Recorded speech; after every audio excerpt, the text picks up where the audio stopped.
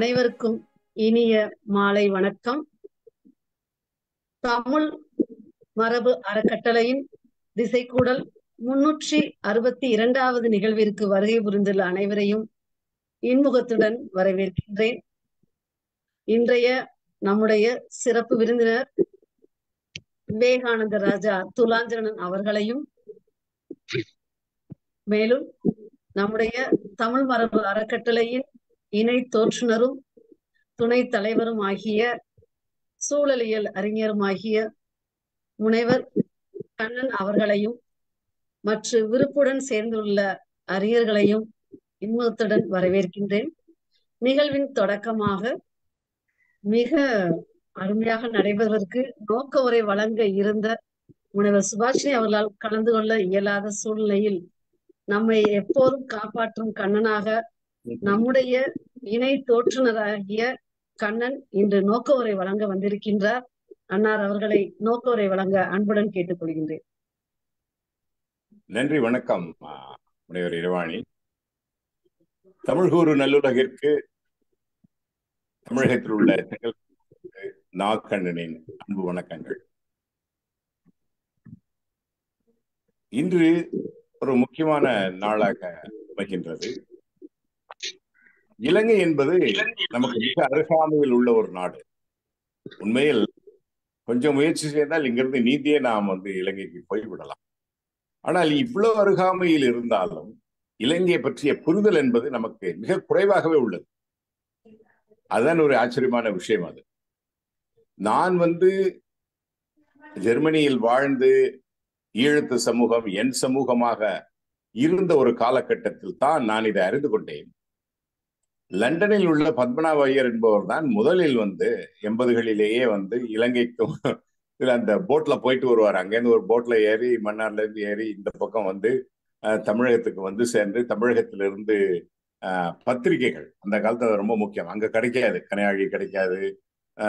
இங்க தமிழகத்தில் உள்ள அந்த பத்திரிகைகள் எல்லாம் கிடைக்காத ஒரு சூழலில் இங்கிருந்து இந்த பத்திரிகைகள் எல்லாம் எடுத்துக்கொண்டு போய் அங்கு கொடுப்பதும் அங்க இருக்கக்கூடிய தமிழ் பத்திரிகைகளை கொண்டு வந்து இங்கு அறிமுகப்படுத்துவதுமாக ஒரு ஒரு ஒரு பாலமாக அவர் வந்து செயல்பட்டு இருக்கின்றார் நான் இருந்து இலங்கையினுடைய இலக்கியத்தை கொஞ்சம் அறிவுபூர்வமாக தமிழக இலக்கியவாதிகள் அறிந்து கொண்டது அதற்கு பின் தான்.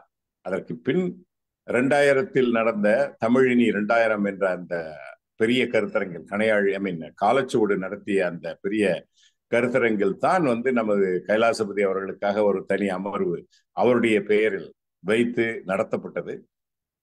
அந்த கருத்தரங்கில் என்னுடைய நண்பர்கள் எல்லாம் நிறைய ஈழத்து நண்பர்கள் எல்லாம் வந்து கலந்து கொண்டு சிறப்பித்தார்கள். அப்பொழுதுதான் அதாவது நமது ரெண்டாயிரம் யோசிச்சு பாருங்க நம்ம கிபி ரெண்டாயிரத்துல தான் வந்து இளைஞனுடைய இலக்கியத்தை பற்றி ஒரு ஒரு சின்ன புரிதல் வந்து தமிழகத்தில் வந்து நிகழ்ந்து இருக்கிறது இத்தனை நூற்றாண்டுகளாக தமிழ் கூறும் நல்லுலகாக இருக்கின்ற அந்த ஈழத்தை பற்றி நாம் அதிகம் அறிந்திருக்கவில்லை. இப்படித்தான் ஆகிவிடுகின்றது. இப்ப சேரர்கள் என்று நாம் சொல்லக்கூடிய கேரளாவை பற்றி நமக்கு என்ன தெரியும்? அதிகமாக தெரியாது. ஓகே.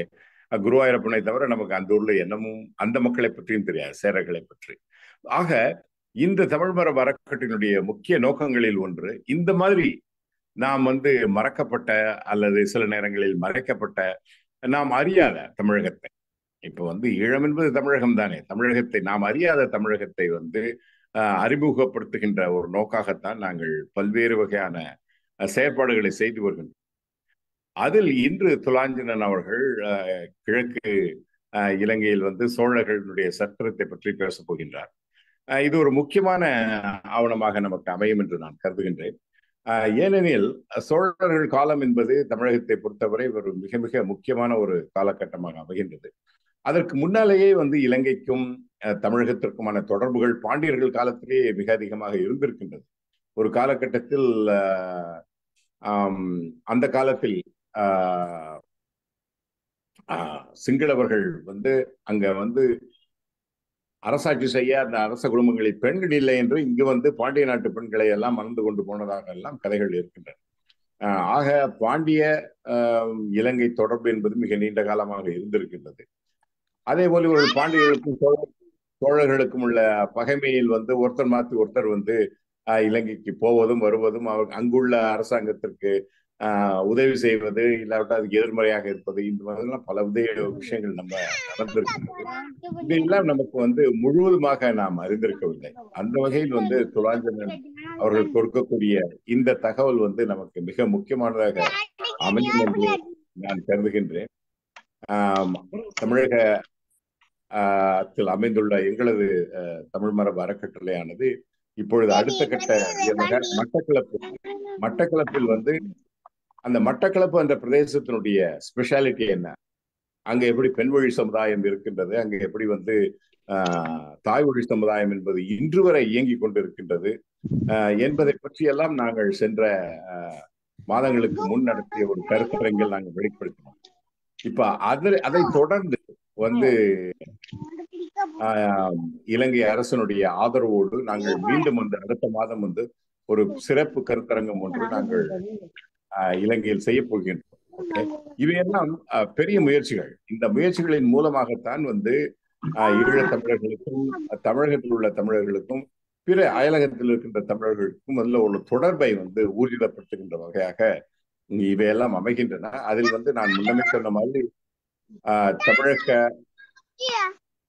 தமிழ் மரபு அறக்கட்டளையானது இதில் மிக்க அக்கறை கொண்டு செயல்பட்டு வருகின்றது. இந்த மாதிரி செயற்பாடுகளின் மூலமாகத்தான் நாம் ஒருவருக்கொருவர் புரிந்து கொண்டு ஒருவருக்கொருவர் உதவி செய்து உதாரணமாக அடுத்த மாதம் நடக்கின்ற அந்த கருத்தரங்கில் ஒரு ஆயிரம் புத்தகங்கள் வந்து நாங்கள் வந்து பட்டிகோலா என்று சொல்லக்கூடிய அந்த மட்டக்களப்பிற்கு எடுத்து சொல்கின்றோம். அங்குள்ள நூலகங்களுக்கு தேவையான தமிழகத்தில் வெளியாகிய நூல்களை எல்லாம் என்னுடைய நூல்களும் பலவற்றை நான் கொடுக்கின்றேன்.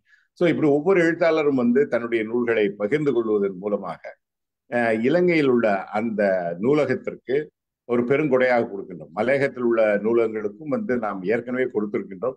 இன்னும் நாங்கள் கொடுக்க போகின்றோம். இந்த மாதிரி செயற்பாடுகளின் மூலமாகத்தான் வந்து நாம் வந்து நமது சகோதரர்களான இலங்கை வாழ் தமிழர்களுடன் ஒரு நல்ல உறவை ஏற்படுத்தி கொண்டு உறவாட முடியும் என்று நான் நம்புகின்றேன். அந்த வகையில் துலாஞ்சனன் அவர்களுடைய இந்த உரை வந்து மிக சிறப்பாக அமைய என் தனிப்பட்ட வகையிலும் தமிழ் மரபு அறக்கட்டளையின் சார்பிலும் வந்து வாழ்த்துவதில் நான் பெருமகிழ்ச்சி கொள்கின்றேன். நன்றி வணக்கம். மிக்க நன்றி ஐயா. தொடர்ந்து இன்றைய சிறப்புரையாளர் பற்றி ஒரு சிறு அறிமுகம். நமக்கு ஏற்கனவே அறிமுகமானவர் ஏப்ரல் மாதம் மட்டக்களப்பு கருத்தரங்கம் இணையவழியில் நடத்தும் போது ஒரு சிறப்புரையாளராக இருந்தவர். அனைவரும் விரும்பக்கூடிய சிறந்த உரையாளராக இருந்து எங்களுக்கு பகிர்ந்தவர்கள் எல்லாம் மீண்டும் அவரை பேச அலையுங்கள் என்றும் கேட்டுக்கொண்டனர். அதற்கும் இணங்க அவருடைய பார்வையில சோழர்களை பற்றிய தெரிந்து கொள்ள வேண்டும் என்ற ஆசையின் காரணமாக இன்று நாம் அவர்களை சிறப்புரையாளராக அழைத்துள்ளோம். அவர் இலங்கை ஆட்சி பணியான இலங்கை நிர்வாக சேவை அதிகாரியாக பணியாற்றுபவர். தற்போது மட்டக்களப்பு போரத்தீவு பற்று வெள்ளாவெளி பிரதேச செயலகத்தில் உதவி பிரதேச செயலாளராக பணிபுரிகின்றார். இவர் கிழக்கிழங்கையின் தம்பிலுவில் கிராமத்தில் பிறந்து கொழும்பு பல்கலைக்கழகத்தின் விஞ்ஞான பீடத்தில் மூலக்கூறு குற்று உயிரியலும் உயிர் வேதியியலும் அதில் இளநிலை பட்டம் பெற்றவர். அதே பல்கலைக்கழகத்தில் பொது நிர்வாகமும் மேலாண்மையும் என்ற முதுநிலை பட்டத்தையும் பெற்ற சிறப்பிற்கு உரியவர். அவர் சைவ சமயத்தின் மீது ஈடுபாடு உடையவர். அதன் காரணமாக சைவ சமயத்தின் வரலாற்றை சொல்லக்கூடிய அழகிலா ஆடல் சைவத்தின் கதை எனும் நூலையும் தனது சிறப்பு மலராக மட்டக்களப்பின் சுருக்க வரலாற்றை சொல்லக்கூடிய மட்டக்களப்பு எட்டு பகுதி என்ற நூலையும் வெளியிட்டுள்ளார். பல்வேறு நாளேடுகளிலும் இதழ்களிலும் கட்டுரை எழுதியுள்ள இவர். தற்போது கனடாவிலிருந்து வெளிவரக்கூடிய தாய் வீடு இதழில் ஈழமும் சோளமும் எனும் கட்டுரை தொடரை எலினா வலைதளத்தில் ஈழத்து கீழைக்கரை என்னும் கட்டுரை தொடரையும் எழுதி வருகின்றார். இன்று நம்முடைய கிழக்கிழங்கையில் சோழர் ஒரு வரலாற்று பார்வையில் என்ற பொருண்மையில் பேச இருக்கின்றார். சிறப்புரையாளரை சிறப்புரையாற்ற அன்புடன் அழைக்கின்றோம். அனைவருக்கும் வணக்கம். தமிழ் மரபு அறக்கட்டளை பன்னாட்டு அமைப்பின் இணையவழி உரைத்தொடர் நிகழ்ச்சியாகிய திசைக்கூடலில் கிழக்கிழங்கையில் சோழர்கள் என்ற பெயரில் உரையாற்றுவதை மிகுந்த மகிழ்ச்சி அடைகின்றேன். இதில் கலந்து கொண்டிருக்கின்ற அனைத்து பெரியவர்கள் மற்றும் அனைத்து ரசிகர்கள் அனைவரையும் வரவேற்றவனாக உண்மையில் ஒரு அறிவை கருத்தொன்றை கண்ணனையா அவர்கள் குறிப்பிட்டிருந்தார். அண்மையில் வெளியான ஒரு திரைப்பட பாடலை கேட்டிருப்போம் பல்லிலக்கா வரையிலக்கா எனப்படுகின்ற பாடல். ஒரு சிவாஜி திரைப்பட பாடல். சேலத்துக்கா மதுரைக்கா மெட்ராஸுக்கா திருச்சிக்கா திருத்தணிக்கா என்ற அந்த பாடலில் இந்திய ஊர்கள் குறிப்பிடப்படும். அதை கேட்டபொழுது நான் அடைந்த ஒரு முக்கியமான ஒரு வியப்பு ஒன்று இருக்கின்றது. ஆனால் இலங்கை பற்றிய இன்றைய திரையுலகிலாகட்டும் அதே போல இலக்கிய உலகிலாகட்டும் அதாவது தமிழகம் சார்ந்து வெளிவருகின்ற ஆக்கங்களில் படைப்புகளில் இலங்கை எப்படி குறிப்பிடப்பட்டிருக்கின்றது இலங்கை சார்ந்த வெளியீடு அல்லது அறிமுகம் எப்படி இருக்கின்றது என்று பார்த்தால் உண்மையில் ஒரு இலங்கையனாக எனக்கு கூட ஒரு வருத்தம் தான். அது பொதுவாக வெளிப்படையாக பேசப்படுவதில்லை. ஆனால் ஒரு எழுநூறு எண்ணூறு ஆண்டுகளுக்கு முன்னர் எப்படி இருந்த நிலவரம் என்று பார்த்தால் முற்றிலும் வேறு. அதை சற்று கற்பனை கலந்து தொன்மங்களூடாக கல்கி தனது பொன்னியின் செல்வன் நாவலில் குறிப்பிட்டிருப்பார். ஆனால் பொன்னியின் செல்வன் நாவலில் நாம் ரசித்திருப்போம் நிறைய பேர் வாசித்திருப்பீர்கள் அண்மை வெளிவந்த திரைப்படத்தை பார்த்திருப்பீர்கள். அது காட்டுகின்ற உலகமே வேறு. இலங்கையும் தமிழகமும் எத்தனை நெருக்கமான உறவை பேணிக் கொண்டிருந்தன. இலங்கையில் தமிழகத்தின் எப்படி தவிர்க்க முடியாத ஒரு தேவைப்பாடு இருந்தது என்ற விடயத்தை அந்த நாவலில் சுட்டிக்காட்டியிருப்பார்கள். ஆனால் அந்த நாவல் காட்டுகின்ற உலகத்துக்கு வெளியே மிக நெருக்கமான ஒரு பண்பாட்டு உறவு நிலவியதுதான் இலங்கை இலங்கைக்கும் இந்தியாவுக்கும் இடையே. அதுவும் குறிப்பாக எண்ணூறு ஆண்டுகளுக்கு முன்னர் அந்த நிலவரத்தை நாம் இன்னும் வெளிப்படையாக காணலாம். சோழர்கள் ஆட்சி காலத்தில். எனவே அதைத்தான் நான் இங்கே சுருக்கமாக பார்க்க போகின்றோம். அதிலும் இலங்கையில் அதிலும் குறிப்பாக கிழக்கிலங்கையில் சோழர்கள் என் தலைப்பில் தான் எனக்கு இந்த உரை இருக்கின்றது. ஒரு மறைந்து போன ஒரு தொடர்பு ஒன்றையும் இங்கே நினைவூட்டிக் கொள்வதற்காக. கிழக்கிலங்கையில் சோழர்கள் என்று பார்க்கின்ற பொழுது நாம் பார்க்க போகின்ற முக்கியமான விடயங்கள் ஆறே ஆறு விடயங்கள் தான். முதல் கிழக்கிலங்கை என்றால் என்று பார்ப்போம். பிறகு ஏன் இலங்கைக்கு சோழர்கள் படையெடுத்தார்கள் என்று பார்க்க போகின்றோம். பிறகு இலங்கைக்கும் சோழத்துக்கும் இடையிலான உறவு பிறகு சோழர் காலத்தில் இலங்கையில் எப்படிப்பட்ட ஒரு அரசியல் நிலவரம் இருந்தது என்பதை பார்க்கலாம். பின்னர் சோழர் கால கிழக்கிலங்கையில் சமூக நிலவரம் எப்படி இருந்தது என்ற விடயத்தை பார்ப்போம். இறுதியாக இந்த சோழர்கள் இலங்கையை ஆண்ட பொழுது அவர்களது தெற்கு எல்லை எதுவாக இருந்தது? அந்த தெற்கு எல்லையின் வரலாற்று முக்கியத்துவம் என்ன? வகிபாகம் என்ன? என்ற விடயத்தை தான் நாம் பார்க்க போகின்றோம். இந்த ஆறையும் பார்த்தோம் என்று சொன்னால் நமது உரையை இன்று முடித்ததாக போய்விடும். கிழக்கிலங்கை என்பது ஏற்கனவே இலங்கை பற்றி அறிந்தவர்கள் அறிந்ததுதான். கிழக்கு மாகாணம் இலங்கையின் கிழக்கு மாகாணமானது மூன்று மாவட்டங்களாக பிரிக்கப்பட்டிருக்கின்றது. திருகோணமலை மட்டக்களப்பு அம்பாறை எனப்படுகின்ற மூன்று மாவட்டங்கள். திருகோணமலையின் வட எல்லை ஆக வட எல்லை திருகோணமலை மாவட்டத்திலிருந்து அம்பாறை மாவட்டம் வரை மூன்று மாவட்டங்கள். திருகோணமலை மாவட்டத்தின் தலைநகராக திருகோணமலை நகரம் இருக்கின்றது. மட்டக்களப்பின் தலைநகர் மட்டுநகர் அம்பாறை மாவட்டத்தின் தலைநகர் அம்பாறை இந்த மூன்று நகரங்களை அடிப்படையாக வைத்துதான் இந்த நிலப்பிரிவு பிரிக்கப்பட்டிருக்கின்றது. இந்த நிலப்பிரிப்பில் தமிழர்கள் முஸ்லீம்கள் மற்றும் சிங்களவர்கள் வசித்துக் கொண்டிருக்கின்றார்கள். ஒரு தமிழக பெரும்பான்மையாக வாழ்கின்ற பொழுதும் பல்வேறு இனக்குழுமங்கள் ஒற்றுமையாக வாழ்ந்து வருகின்ற நிலப்பகுதியாக இருக்கின்றது. ஒரு தனித்துவமான பண்பாட்டு நிலப்பரப்பாகவும் காணப்படுகின்றது. இந்த கிழக்கிழங்கையில் சோழர்களின் பங்களிப்பு என்ன? சோழர்கள் இங்கு இங்கு வருகின்ற பொழுது அவர்களது இங்கு அவர்களது தாக்கம் என்னவாக இருந்தது என்பதை நாம் பார்க்க போகின்றோம். முதலாவதாக ஒரு வளமையாக வரலாற்று ஆசிரியர்கள் வகுப்பறையில் இருக்கின்ற கேள்விதான். இலங்கை மீது சோழர்கள் ஏன் படையெடுத்தார்கள்? இந்த கேள்விக்கு பொதுவாக வரலாற்று ஆளுநர்கள் எல்லோருமே இரண்டு பதிலைத்தான் சொல்வார்கள். ஒன்று சோழர்கள் மண்ணாசை கொண்டிருந்தார்கள். நிறைய நிலப்பரப்பை வெற்றி கொள்ள வேண்டும் என்று ஆசைப்பட்டிருந்தார்கள். அது ஆகவே சோழரின் மண்ணாசை முக்கியமான ஒரு காரணம். அதே அதே போல மறுபக்கத்தில் பார்க்க போனோம் என்று சொன்னால் இலங்கை ஆட்சியாளர்கள் பலவீனமாக இருந்தார்கள். அதன் காரணமாக அவர்களால் இலங்கை இலங்கையை சோழர்களிடம் கையளிக்க வேண்டி நின்றது என்பது ஒரு பொதுவான காரணம். ஆனால் இலங்கை அறிவு சூழலில் பொதுவான ஒரு கருத்து ஒன்று இருக்கின்றது. இந்த சோழர்களின் படையெடுப்பை இலங்கையின் ஒரு இலங்கையின் ஒரு தன்னாளுமைக்கு எதிரான ஒரு நிகழ்வாக இறைமைக்கு எதிராக மேற்கொள்ளப்பட்ட ஒரு படையெடுப்பாகத்தான் கருதுவார்கள். அதாவது புத்த சமயத்துக்கு எதிராக சோழர்களின் சைவ சமயம் படையெடுத்தது என்றவாறு அல்லது சிங்கள இன தேசியத்துக்கு எதிராக சோழர் சார்ந்த ஒரு தமிழ் தேசியம் எதிர்ப்பு தெரிவித்து படையெடுத்தது என்பதாகத்தான் இன்றைக்கு வரலாற்று ஆசிரியர்கள் அதை புரிய வைப்பார்கள் அல்லது விளக்குவார்கள். இன்னொரு முக்கியமான ஒரு விடயம் ஒன்று இலங்கை வரலாற்று நூல்களில் பாடல்களில் கூட மாணவர்களுக்கு கூட கற்பிக்கப்படுவது உண்டு இலங்கையின் தலைநகரங்கள் தென்மேற்காக நகர்ந்ததற்கான முதன்மையான காரணங்கள் ஒன்று சோழர்களின் படையெடுப்பு என்று சொல்வார்கள். அதாவது அந்த படத்தில் பார்த்தா தெரியும் உங்களுக்கு. அனுராதபுரத்திலிருந்து சிகிரியா ஊடாக புலனறுவை பின்பு தம்பதனி குருநாகல் யாப்பகுவ போன்ற இடங்களுக்கு சென்று இறுதியாக இன்றைக்கு இலங்கையின் தலைநகரம் கொழும்புக்கு அருகையில் உள்ள ஜேவத்தனபுர கோட்டை.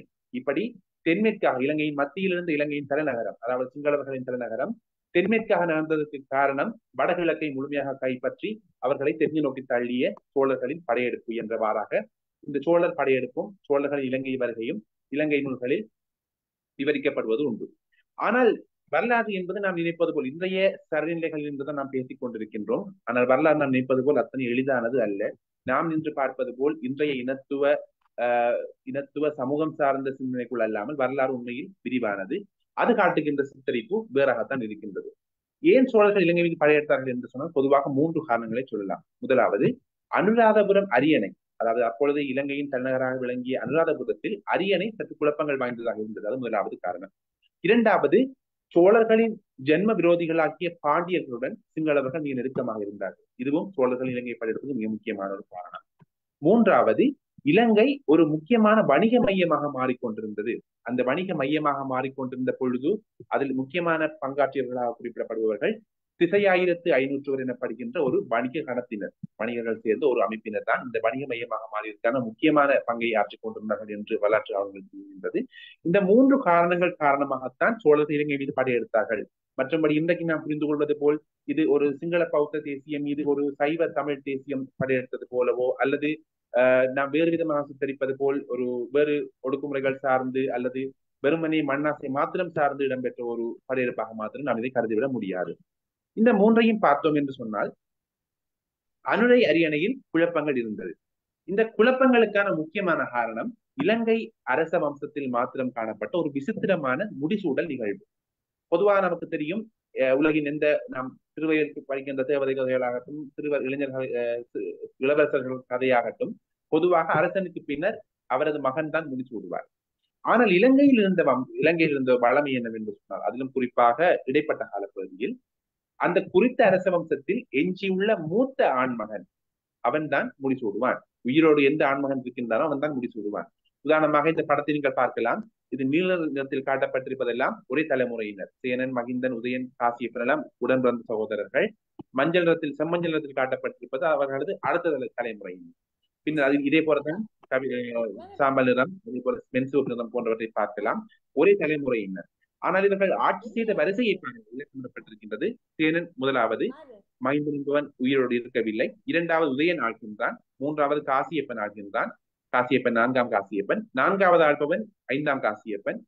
அதன் பிறகு பைப்புலன் அந்த ஐந்து ஆறு ஏழு என்று சொல்கின்ற வரிசையை பார்த்தோம் என்று சொன்னால் அது ஒரு பெற்றோரிடமிருந்து மகருக்கு வருவதாக அல்லாமல் ஒரு சகோதரர்களின் ஊடாக கடத்தப்படுகின்ற ஒரு விசித்திரமான ஒரு முழுசூழல் வளமையை நாம் காணக்கூடியதாக இருக்கின்றது. இன்னும் தெளிவாக பார்ப்பதற்காக இந்த படத்தை மாத்திரம் எடுத்து பார்த்தோம் என்றால் சேனன் இரண்டாம் சேனன் மறைந்த பின்னர் உண்மையில் நம் நாம் அறிந்த கதைகளின்படி மகன் தான் முடிசூடியிருக்க வேண்டும். எனவே காசிய ஐந்தாம் காசியப்பன் தான் முடிசூடியிருப்பான் ஆனால் அவ்வாறு நிகழவில்லை. அவனுக்கு பின்னர் அந்த பரம்பரையில் உயிரோடு இருந்த முதலாவது மகனாகிய முதலாவது ஆண்மகனாகிய உதயன் முடிசூடுகின்றான். இரண்டாம் உதயன் முடிசூடுகின்றான். இதே போல உதயன் இரண்டாம் உதயனுக்கு பின்னர் முடிசூடிய நான்காம் காசியப்பன். இந்த படத்தில் நீங்கள் பார்த்துட்டு என்று சொன்னால் நீல நிறத்தில் ஆக அடிப்பகுதியில் காட்டப்பட்டுள்ள படம்.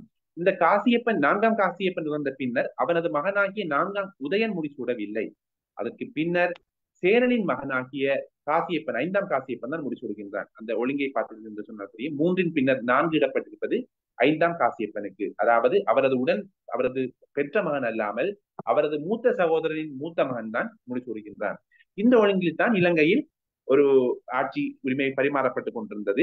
எனவே இப்படி காசியப்பன் ஐந்தாம் காசியப்பன் முடிசூடுவதற்காக நாம் கணக்கிட்டு பார்த்தோம் என்று சொன்னால் தன் தந்தை இறந்த பின்னர் இருபத்தி ஏழு ஆண்டுகள் கிட்டத்தட்ட காத்திருக்க வேண்டியதாக இருந்திருக்கின்றது முடிசூடுவதற்கு இது ஒரு விசித்திரமான வழக்கம். இலங்கையில் காணப்பட்டது. இதன் நன்மை என்னவென்று சொன்னால் சகல ஆண் வாரிசுகளுக்கும் ஆட்சியுரிமை நிச்சயம் நிச்சயிக்கப்பட்டிருக்கும். அவர்களது பிறந்த ஒழுங்கில் தகப்பனின் பின்னர் அவரது சகோதரங்கள் அதை பின்னர் அவர்களது மூத்த மகன்கள் அதன் பின்னர் அவர்களது சகோதரர்கள் என்ற விதத்தில் எல்லா ஆண் வாரிசுகளுக்கும் ஆட்சி உரிமை நிச்சயிக்கப்பட்டிருந்தது. ஆனால் மறுபுறம் இதன் தீமை என்னவென்று சொன்னால் ஆட்சி புரிவதற்காக காத்திருக்க வேண்டிய தேவை ஏற்பட்டிருந்தது. தந்தையின் பின்னர் மகன் ஆட்சி புரிய முடியாது. அதே போல் நிச்சயமும் இல்லை. தான் இறந்து விட்டால் ஆட்சி புரியாமலே முடியாமலே போய்விடும். அதாவது இங்கு காட்டப்பட்டிருக்கின்ற மகிந்தன் முடிசூடவில்லை. ஏனென்றால் அவன் சேனன் இரண்டாம் சேனன் உயிரிழக்கும் பொழுது உயிரோடு இருக்கவில்லை. எனவே நிச்சயம் இல்லை. இந்த அரசு அச்சனுக்கு கட்டாயம் கிடைக்கும் என்று உறுதியாக இருக்கவில்லை. எனவே இலங்கையின் அரசு என்பது ஒரு கொலைகளும் பழிகளும் சூழ்ந்ததாக காணப்பட்டது. உடன் பிறந்த சிற்றப்பா உடன் பிறந்த சகோதரர்களை தனது உடன் சொந்த சிற்றப்பாமாரை கொள்கின்ற பதவி ஆசைக்காக உயிரோடு அடி அடியோடு அழிக்கின்ற ஒரு அரசாகத்தான் காணப்படுகின்றது. இந்த மகாவம்சத்தில் காணப்படுகின்ற கதைகளின்படி இங்கு இறந்ததாக கூறப்படுகின்ற மகிந்தன் கூட ஒரு மர்மமான விதத்தில் தான் கொல்லப்பட்டிருக்கின்றான். அவன் கூட இந்த சகோதர சண்டைகளின் காரணமாக இருந்திருக்கலாம். அதே போல இவர்கள் இதன் காரணமாக சில விசித்திரமான வழக்கங்களும் இங்கு ஏற்பட்டிருந்தது. இவர்களுக்கிடையே ஒரு முறை தவறிய திருமணங்களை கூட முடிக்க வேண்டியதாக இருந்தது. இந்த அனுராதபுர அரியணையின் மாற்றம் என்பது ஒரு குழப்பமான நடைமுறை கொண்டிருந்த காரணத்தினால் சில முருதவரிய தனது ஆட்சியுரிமையை உறுதிப்படுத்துவதற்காக முருதவரிய திருமணங்கள் தனது உடன் பிறந்த சகோதரனின் மனைவியை மணப்பது தனக்கு தனது பெறாமகளை மணப்பது இப்படி சில விசித்திரமான வழக்கங்கள் கூட அனுராதபுர அரண்மனையில் காட்சி அப்பொழுது நடைமுறையில் இருந்தன. இந்த காரணங்களால் முக்கியமாக அனுராதபுர அரியணை என்பது ஒரு நிலையற்ற ஒன்றாக காணப்பட்டது. குறிப்பாக சோழர்கள் படையெடுக்கின்ற ஒன்பதாம் நூற்றாண்டின் ஆரம்பத்தில் இப்படி அண்ணன் தம்பிமாரும் அதே போல தகப்பன் சிற்றப்பாமாரும் ஒரு சண்டை பிடித்துக் கொண்டிருக்கின்ற ஒரு குழப்பகரமான ஒரு இடமாக இருந்திருக்கின்றது. இது முதலாவது சோழர்களின் படையெடுப்புக்கான முதன்மையான காரணங்கள் ஒன்றாக அமைந்திருக்கின்றது. இரண்டாவது சிங்களருக்கும் பாண்டியருக்குமான நெருக்கம். முக்கியமாக முதன்மையான எட்டாம் ஒன்பதாம் நூற்றாண்டில் ஆண்ட ஸ்ரீமார ஸ்ரீமல்லப பாண்டியன் காலத்தில் தான் இந்த சிங்கள அரசுக்கும் பாண்டிய அரசுக்குமான நெருக்கம் ஆரம்பிக்கின்றது.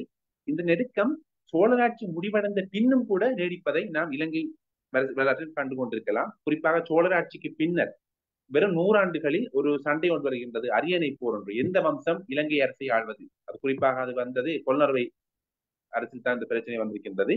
கலிங்க வம்சமா? ஆரிய வம்சமா இலங்கை அரியணைக்கு சொந்தமானது. யாரால் இந்த நாடு ஆளப்பட வேண்டும் என்ற ஒரு பெரிய பிரச்சனை ஒன்று ஏற்பட்டிருக்கின்றது. இது தொடர்பாக நிறைய செப்பேடுகள் கல்வெட்டுகள் கூட இலங்கை முழுவதும் கிடைக்கின்றன. கலிங்க வம்சம் ஆரிய வம்சத்துக்கு இடையிலான ஒரு அரியணை போர். யார் இங்கு முடிசூடுவது என்று.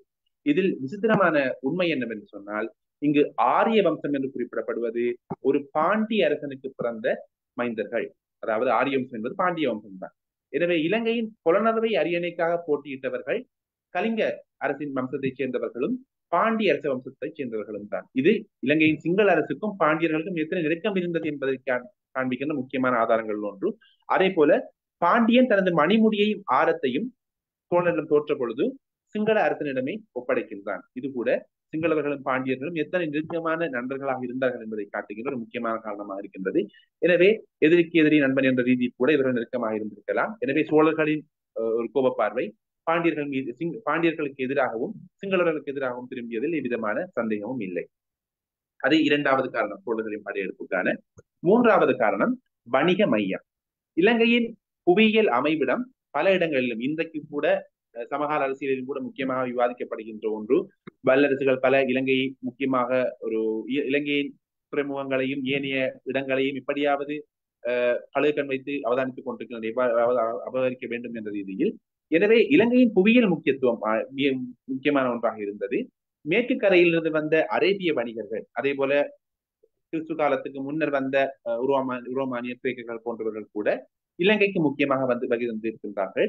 அதே போல கிழக்கு புறம் இருந்து வந்த சீனர்கள் அதே போல தென்கிழக்கு ஆசிய வணிகர்கள் இலங்கைக்கு வந்திருக்கின்றார்கள். இந்த இரண்டு தரப்பினரும் தங்களுக்குள் பண்டமாற்று செய்கின்ற சில நேரங்களில் பொருட்கள் கெட்டு போய்விடலாம் அல்லது கடற்கொள்ளையரின் அபாயம் போன்ற போன்ற ஆபத்து கடந்த காலத்தில் அதிகமாக இருந்திருக்கின்றன.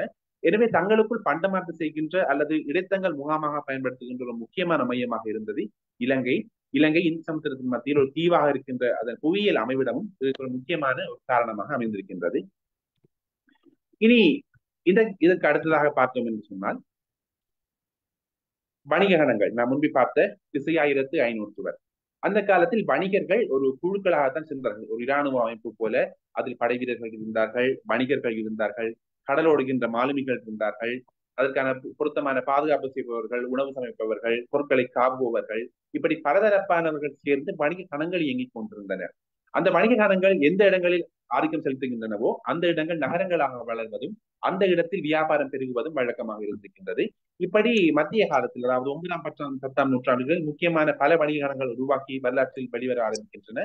அவற்றில் முக்கியமானது திசையாயிரத்து ஐநூற்றுவர் மணிக்கிராமத்தார் அஞ்சு வண்ணம் போன்ற வணிக கணங்கள் திசையாயிரத்து ஐநூற்றுவர் இதில் முக்கியமானவர்கள் இவர்கள் தான் சோழர்களுடன் மிக நெருக்கமாக இருந்தவர்கள். நாம் இன்றைய வரலாற்றை பார்த்தோம் என்று சொன்னால் இலங்கை இலங்கை தவிர சோழர்கள் எங்கெல்லாம் செலுத்தினார்களோ அங்கெல்லாம் திசையாயிரத்தி ஐநூற்றுவரும் ஒரு முக்கியமான பங்கை வைத்திருக்கிறார்கள் என்பதை நாம் காணக்கூடியதாக இருக்கும். மணிக்கிராமத்தாரும் அதே போலத்தான். இதுல அஞ்சு வண்ணம் என்பது அரேபிய வணிகர்கள் தமிழ தமிழ் பேசாத அல்லது இந்திய மொழிகளை பேசாத வணிகர்கள் என்று குறிப்பிடப்படுகின்றது. அஞ்சு வண்ணத்தார் கூட தென்னகத்திலும் இலங்கையிலும் அவர்களது ஆதிக்கம் செலுத்தப்பட்டிருக்கின்றது. இப்படி இந்த வணிககணங்கள் பின்னாளில் வளஞ்சியர் நகரத்தார் என்றெல்லாம் வளர்ந்து சென்றிருக்கின்றது. கடந்த இரண்டு நூற்றாண்டுகளுக்கு முன்வரை கூட நகரத்தார் முக்கியமான ஒரு வணிக கணங்களாக தென்கிழக்கு ஆசிய நாடுகளுக்கும் கூட சென்று வந்து கொண்டிருந்தார்கள். இந்த பின்னணியில் சோழர்களுடன் நெருக்கம் போன்றிருந்த திசையாயிரத்தி ஐநூற்று வரை முக்கியமான மையங்கள் ஒன்றாக இலங்கை காணப்பட்டது. எனவே திசையாயிரத்தி ஐநூற்று ஊடாக இலங்கையின் வணிக சந்தையை இலகுவாக கைப்பற்றிக் கொள்வதற்கும் இங்கு தங்களை நிலைநிறுத்திக் கொள்வதற்கும் சோழர்களுக்கு இலங்கையின் இலங்கையை கைப்பற்றுவது முக்கியமான ஒரு தேவைப்பாடாக இருந்தது. எனவே அவர்கள் இலங்கைக்கு வருகை தந்தார்கள். ஆக இந்த மூன்று காரணங்களாகத்தான் காரணமாகத்தான் சோழர்கள் இலங்கையை தங்கள் கட்டுக்குள் வைத்திருக்க ஆசைப்பட்டார்கள் என்பதை நாம் புரிந்து புரிந்து கொள்ளக்கூடியதாக இருக்கும். இனி இலங்கைக்கும் சோழ நாட்டுக்கும் இடையிலான நெருக்கமான உரை பார்த்தோம் என்று சொன்னால் இதை இரண்டு கட்டமாக நாம் பார்க்கலாம். பொதுவாக நாம் எல்லோரும் சிந்திப்பது ராஜராஜ சோழன் காலத்தில் தான் இலங்கை சோழர்களின் ஆதிக்கத்திங்கள் சென்றது என்று அவ்வாறு அல்ல. அவனுக்கு சில நூற்றாண்டுகளுக்கு ஒரு நூற்றாண்டுக்கு முன்பே பராந்தக சோழன் காலத்திலேயே இலங்கைக்கும் சோழ நாட்டுக்குமான உறவு ஆரம்பித்து விட்டது. பராந்தக சோழனுக்கு எதிராக பாண்டிய மன்னனாகிய ராஜசிம்மன் ஐந்தாம் காசியப்பனிடம் படையுதவி பெறுகின்றான். நாம் முன்பே பார்த்த சிங்கள பாண்டிய நெருக்கம். முதன் முதலாக சோழர்கள் சோழர்களுக்கு சிங்களவர்கள் மீது கோபம் ஏற்படுவதற்கான முதன்மையான காரணமே பாண்டியர்களோடு அவர்கள் வைத்துக் கொண்ட கூட்டுத்தான். இதன் காரணமாக வெள்ளூரில் தமிழகத்தின் வெள்ளூரில் இடம்பெற்ற போரில் பராந்தக சோழன் வெற்றி அடைகின்றான். ராஜசிம்ம பாண்டியன் தோல்வி அடைகின்றான். இதன் பின்னர் அன்னளவாக தொள்ளாயிரத்தி முப்பது பொது ஆண்டுக்கு பின்னர் தொள்ளாயிரத்தி முப்பதாம் ஆண்டளவில் ராஜசிம்ம பாண்டியன் தனது பாண்டிய குல சின்னங்களை எடுத்துக்கொண்டு பாண்டிய நாடும் அவனது தீக்கிரையாகி விடுகின்றது. மதுரையை இருக்கின்றான் பராந்தக சோழன். மதுராந்தகன் என்ற பெயரையும் சிங்களாந்தகன் என்ற பெயரையும் சிங்களவர்களுக்கு அந்தகன் சிங்களவர்களுக்கு காலன் அதே போல மதுரைக்கு காலன் மதுராந்தகன் சிங்களாந்தகன் என்ற பெயர்களை சூடிக்கொள்கின்றான். மதுரையும் ஈழமும் கொண்ட கோப்பரகேசரி என்ற பட்டத்தை சூடிக்கொள்கின்றான். இப்படி முற்றுமுழுதாக மதுரை கைப்பற்றி விடுகின்ற பொழுது நாடிழந்த ராஜசிம்ம பாண்டியன் தனது பாண்டிய குல சின்னங்களை எடுத்து வந்து அனுராதபுரத்தை ஆண்ட நான்காம் தப்புல மன்னனிடம் ஒப்படைக்கின்றான். ஜனலவாக தொள்ளாயிரத்தி முப்பதாம் ஆண்டளவில் பின்னர் இந்த பாண்டிய குல சின்னங்களை பெற்றுக்கொள்வதற்காகவும் நாம் முன்பே பார்த்த ஏனைய காரணங்கள் காரணமாகவும் பராந்தக சோழன் இலங்கை மீது நேரடியாக போர் தொடுக்கின்றான் இது அன்னளவாக தொள்ளாயிரத்தி நாற்பத்தி ஏழு எட்டாம் ஆண்டு அளவில் இடம்பெற்றிருக்கலாம். இன்றைக்கு ஆயிரம் ஆண்டுகளுக்கு முன்னர். அதன் பொழுது தப்புலனின் மகனாகிய நான்காம் உதயன் தான் ஆட்சி செய்து கொண்டிருந்தான். எனவே பராந்தகனுக்கும் நான்காம் உதயனுக்கும் இடையில் ஏற்பட்ட இந்த போரில் உதயன் தப்பித்து பின்வாங்கி இந்த பாண்டிய குலச்சினங்களை எடுத்துக்கொண்டு ரோகணம் சென்று விடுகின்றான். இதன் பின்னர் பராந்தகனின் ஆட்சி இலங்கையில் சிறிது காலம் நீடித்ததாக நம்பப்படுகின்றது. ஆனால் இலங்கை முற்றுமுழுதாக சோழர் ஆட்சிக்கு வர ஆரம்பிப்பது தொள்ளாயிரத்தி தொண்ணூத்தி ரெண்டு காலப்பகுதியில் தான் அதாவது ராஜராஜ சோழன் காலத்தில் தான் இதன் பொழுது அடுத்தடுத்து மிக நெருக்கமான காலத்தில் நான்கு தடவை ராஜராஜனின் ஈழப்படையெடுப்பு இடம்பெற்றிருக்கின்றது. அதன் பின்னர் ராஜராஜனின் மகனாகிய ராஜேந்திர சோழன் ஆயிரத்தி பதினேழாம் ஆண்டு இலங்கையை தனது ஆதிக்கத்தில் கொண்டு வருகின்றான். அதன் பொழுது இலங்கை ஆண்டு கொண்டிருந்த மன்னன் ஐந்தாம் மகிந்தன் ரோகணத்தில் தங்கியிருந்தவன். அவனிடமிருந்து பாண்டிய குல சின்னங்கள் ஆகிய முக்கியமாக மணிமுடியும் இந்திரன் ஆரமும். இந்திரனால் வழங்கப்பட்டதாக சொல்லப்படுகின்ற மாலையும் பாண்டிய குல சின்னங்கள் ஆகிய அவனது மணிமுடி இந்திரன் ஆரம் அதே போல அவனது தேவியர்களையும் பிடித்து சென்றதாக சொல்லப்படுகின்றது சோழமை கீர்த்திகளே. ராஜேந்திரன் ஈழமண்டலம் முழுதும் கொள்கின்றான். எனினும் பிற்காலத்தில் இலங்கையின் தென்பகுதியில் இருந்த ரோகணம் எனப்படுகின்ற பகுதி மெல்ல மெல்ல சுயாட்சிக்காக கிளர்ச்சி செய்கின்றது புரட்சி செய்கின்றது. அதன் காரணமாக அடிக்கடி தோழர்கள் அவர்களது எதிர்ப்பை சந்தித்துக் கொண்டிருக்கின்றார்கள். இப்படி ஆயிரத்தி நாற்பத்தி நான்காம் ஆண்டு ராஜாதிராஜ மன்னன் நான்கு இலங்கை அரசுகளை வென்றான் என்று அவனது கல்வெட்டில் மெய்க்கத்தில் குறிப்பிடுகின்றான். இதன் பின்னர் தொடர்ச்சியாக சிங்கள அரசுகளின் எதிர்ப்பின் காரணமாக மெல்ல மெல்ல அதே போல சோழ பேரரசு வல்லமை குன்றிக் கொண்டு வந்த காரணத்தில் மெல்ல மெல்ல அதன் வலி குறைந்து வந்திருக்கின்றது. இப்படி ஆயிரத்தி எழுபதாம் ஆண்டு முற்று முழுதாக இலங்கையை முதலாம் விஜயபாகு மன்னன் மீட்கின்றான். மதுரை மீட்ட சுந்தரபாண்டியன் போல ஈழத்தை மீட்டவன் முதலாம் விஜயபாகுமரன் ஆயிரத்தி எழுபதாம் ஆண்டு இலங்கைக்கு மீண்டும் முற்றுமுழுதாக சோழரை அகற்றி பொல்லரை அரியணையில் அமர்ந்தான் என்று குறிப்பிடப்படுகின்றது. இந்த காலத்தில் தான் நாம் பார்க்க போகிறோம் சோழர் காலத்தில் இந்த இலங்கை அரசியல் இதுதான் சோழர் காலத்தில் சோழர்கள் இலங்கைக்கு வந்ததும் அவர்களது வெளியேற்றமும் குறிப்பிட்ட காலம் எழுபத்தி ஏழு ஆண்டுகள் என்று சொல்லப்படுகின்றது. நாம் முன்பே பார்த்தது போல பராந்தக சோழன் காலத்தையும் எடுத்து பார்த்தால் ஒரு நூறு ஆண்டுகளுக்கு மேல இலங்கைக்கும் சோழ நாட்டுக்கும் நெருங்கிய அரசியல் உறவு அதுவும் எதிர்ப்பு உறவு நிலவி இருக்கின்றது ஆனால் நாம் பார்க்கின்ற பொழுது எதிர்ப்பு உறவு மாத்திரமல்ல ஒரு ஆதரவான உறவு கூட நம்ம அவதானிக்கக்கூடியதாக இருக்கின்றது. அதற்கு முன்னர் நாம் பார்க்க வேண்டியது சோழர் கால இலங்கையின் அரசியல் எப்படி இருந்தது? தமிழ் நாம் பொதுவாக முத்தமிழ் நாடு என்று சொல்வோம் மும்முடி சோழன் என்று சொல்வோம் சேர சோழ பாண்டியர் எனப்படுகின்ற மூன்று நிலப்பகுதிகள் தமிழகத்தில் அமைந்திருக்கின்றன. அந்த மூன்றும் சேர்ந்துதான் தமிழ்நாடு. அதை பிரதி பண்ணி இலங்கையினுடைய கருத்துருவாக்கம் ஏற்பட்டிருக்கின்றது பத்தாம் நூற்றாண்டு அளவில். திரிசிங்களாதிபதி என்று. மூன்று சிங்கள நாடுகளின் அரசன். இலங்கையை ரஜரட்ட ருகுணரட்ட மாயரட்ட. ராசநாடு ரோகண நாடு மா மாய நாடு அல்லது மாப்பான நாடு எனப்படுகின்ற மூன்று நாடுகளாக பிரித்து ஆள்கின்ற வழக்கம் அக்கால அரசர்களுக்கு இருந்திருக்கின்றது. ஆனால் இதில் ஒரு அரசன் தான் காணப்படுவார் ராஜநாட்டில். அதாவது ரஜரட்டை தான் அரசன் ஆட்சி புரிவார். அது அனுராதபுரமாக இருந்தது பின்னர் பிற்காலத்தில் பொன்னர்வையாக மாறிவிட்டது. அவனது பிரதிநிதிகளாகிய ஆப்பா மாப்பா எனப்படுகின்ற இரண்டு அரசு பிரதிநிதிகள். அது அவரது இளவரசர்களாக இருக்கலாம் அல்லது வேறு உபராஜர்களாக இருக்கலாம் அவர்கள் ஆட்சி புரிவார்கள். ஆப்பாவால் ரோகண நாடும் மாப்பாவால் மாய நாடும் ஆளப்பட்டது. மாப்பாவால் ஆளப்பட்டதால் தான் அது அந்த நாட்டுக்கு மாயநாடு என்ற பெயர் ஏற்பட்டது. ரோகண நாட்டை ஆள்பவன் பொதுவாக ஆப்பாவாக இருந்தான். ஆனால் இந்த மூன்றிலும் ராஜ ராஜ நாட்டில் தான் அனுராதபுர அரசின் முழுமையான ஆதிக்கம் காணப்பட்டிருக்கின்றது. ரோகண நாடு அடிக்கடி இவனுக்கு எதிராக கிளர்ச்சிகளை செய்து கொண்டிருந்தது. நாம் பார்த்தது போல ராஜநாட்டில் அரசன் உபராஜன் என்றப்படுகின்ற ஒருவன் இருப்பான். அந்த உபராஜன் தான் பிற்காலத்தில் இளவரசனாக மாறுவான். ரோகணத்தை ஆதிபாதன் எனப்படுகின்ற ஆப்பா ஆட்சி புரிந்து கொண்டிருப்பான். மாய நாடை மாப்பாணன் அல்லது மாயா என அழைக்கப்படுகின்ற மகாதிபாதன் ஆட்சி புரிந்து கொண்டிருப்பான். இப்படித்தான் இலங்கையின் ஆட்சி நிர்வாக அலுவல்கள் காணப்பட்டன. ஒரு தனி நாடாக இருந்த பொழுதும் இந்த ராஜநாட்டின் கீழ் தான் இந்த இரண்டு நிலப்பிரிவுகளும் மாப்பாண்ட நாடும் ரோகண நாடும் அமைந்திருந்தன. மகாவலியங்கைக்கு தெற்கே தான் உரோகணம் நாடு நிலப்பிரிவை பொறுத்தவரையில் மகாவலியங்கையின் தென்புறம் தான் உரோக நாடாக கருதப்பட்டது. அதன் வடபுறம் ராச நாடாக கருதப்பட்டது. இந்த படத்துக்கு பார்த்தீங்கன்னா சொன்னா தெரியும். மெல்லிய ஒரு மஞ்சள் நிலப்பட்டிருப்பது ரோகண நாடு. அந்த ரோகண நாட்டுக்கும் ராசநாட்டுக்குமான எல்லை இரண்டுக்குமான எல்லையாக காணப்படுவது மகாபலி கங்கை இலங்கையின் மிக நீளமான நதியாக சொல்லப்படுகின்ற மகாபலி கங்கை இந்த மகாலிங்கைக்கு தெற்குப்புறமாக ரோகண நாட்டில் முக்கியமாக இருந்த நிலப்பகுதி தான் தீக மண்டலம் என சொல்லப்படுகின்ற தீகவாபி. இனி இந்த நான் முன்பே பார்த்தது போல இந்த ரோகண நாட்டில் நிறைய வணிக மையங்கள் தோன்றி பரவி கொண்டிருந்தன. அப்படி பெருகி கொண்டிருந்த நிறைய வணிக மையங்கள் இலங்கையில் துறைமுகங்களை மையமாக வைத்துதான் அமைந்திருந்தன. துறைமுகங்கள் அதே போல ஆற்றின் கழிமுகங்கள் ஆற்றின் வழிகள் சார்ந்ததாக தான் இருந்தன. இதில் முக்கியமாக புலனறுவை. நாம் பார்த்தது முன்பு பார்த்த புலனறுவை இலங்கையின் இரண்டாவது ராஜதானி மகாவலி கங்கையின் கிளையாறாகிய அம்பன் கங்கையின் கரையில் இருந்தது. அம்பன் கங்கை என்பது மகாவலி கங்கையின் கிளையாறு. அதே போல முன்பு அனுராதபுரமானது இலங்கையின் முக்கியமான துறைமுகமாகிய மாதோட்டம் திருக்கேதீஸ்வரம் அமைந்திருந்த பகுதி மன்னார் மாதோட்டத்தில் ஆஹ் அருவியாறு கலக்கின்ற கலக்கின்ற அருவியாறு. அந்த அருவியாற்றின் கரையில் தான் அனுராதபுரம் அமைந்திருந்தது. இப்படி இலங்கையின் இயற்கை துறைமுகங்களாகிய மாதோட்டம் திருகோணமலை ஆகிய இந்த இரண்டு துறைமுகங்கள் சார்ந்தும் தான் இந்த அனுராதபுரமும் புலனறுவை ஆகிய இரண்டு மத்திய கால ராஜதானிகள் உருவாகி வளர்ச்சி கண்டு வந்தன. இந்த மகாபலி கங்கையின் இன்னொரு கரையில் தான் அதாவது மகாபலி கங்கையின் ஒரு கிளை சேர்ந்து சேர்ந்து கடலில் கலக்கின்ற இடம் கொட்டியாரம் என்று அழைக்கப்பட்டது. அதே போல இலங்கையின் அதிதெற்கு பகுதியில் வளவை கங்கை எனப்படுகின்ற ஒரு நதி இன்றைக்கும் பாய்ந்து கொண்டிருக்கின்றது. அந்த நதியின் கரையில் மாநாககுலம் எனப்படுகின்ற ஒரு நகரம் உருவாகி வளர்ச்சி கண்டு வந்தது. இந்த மாநாககுலம் இன்றைக்கு அம்பலாந்தோட்டை என்று அழைக்கப்படுகின்றது. இலங்கையின் தெற்கில் உள்ள அம்பாந்தோட்டை கரையில் உள்ள ஒரு நகரம்.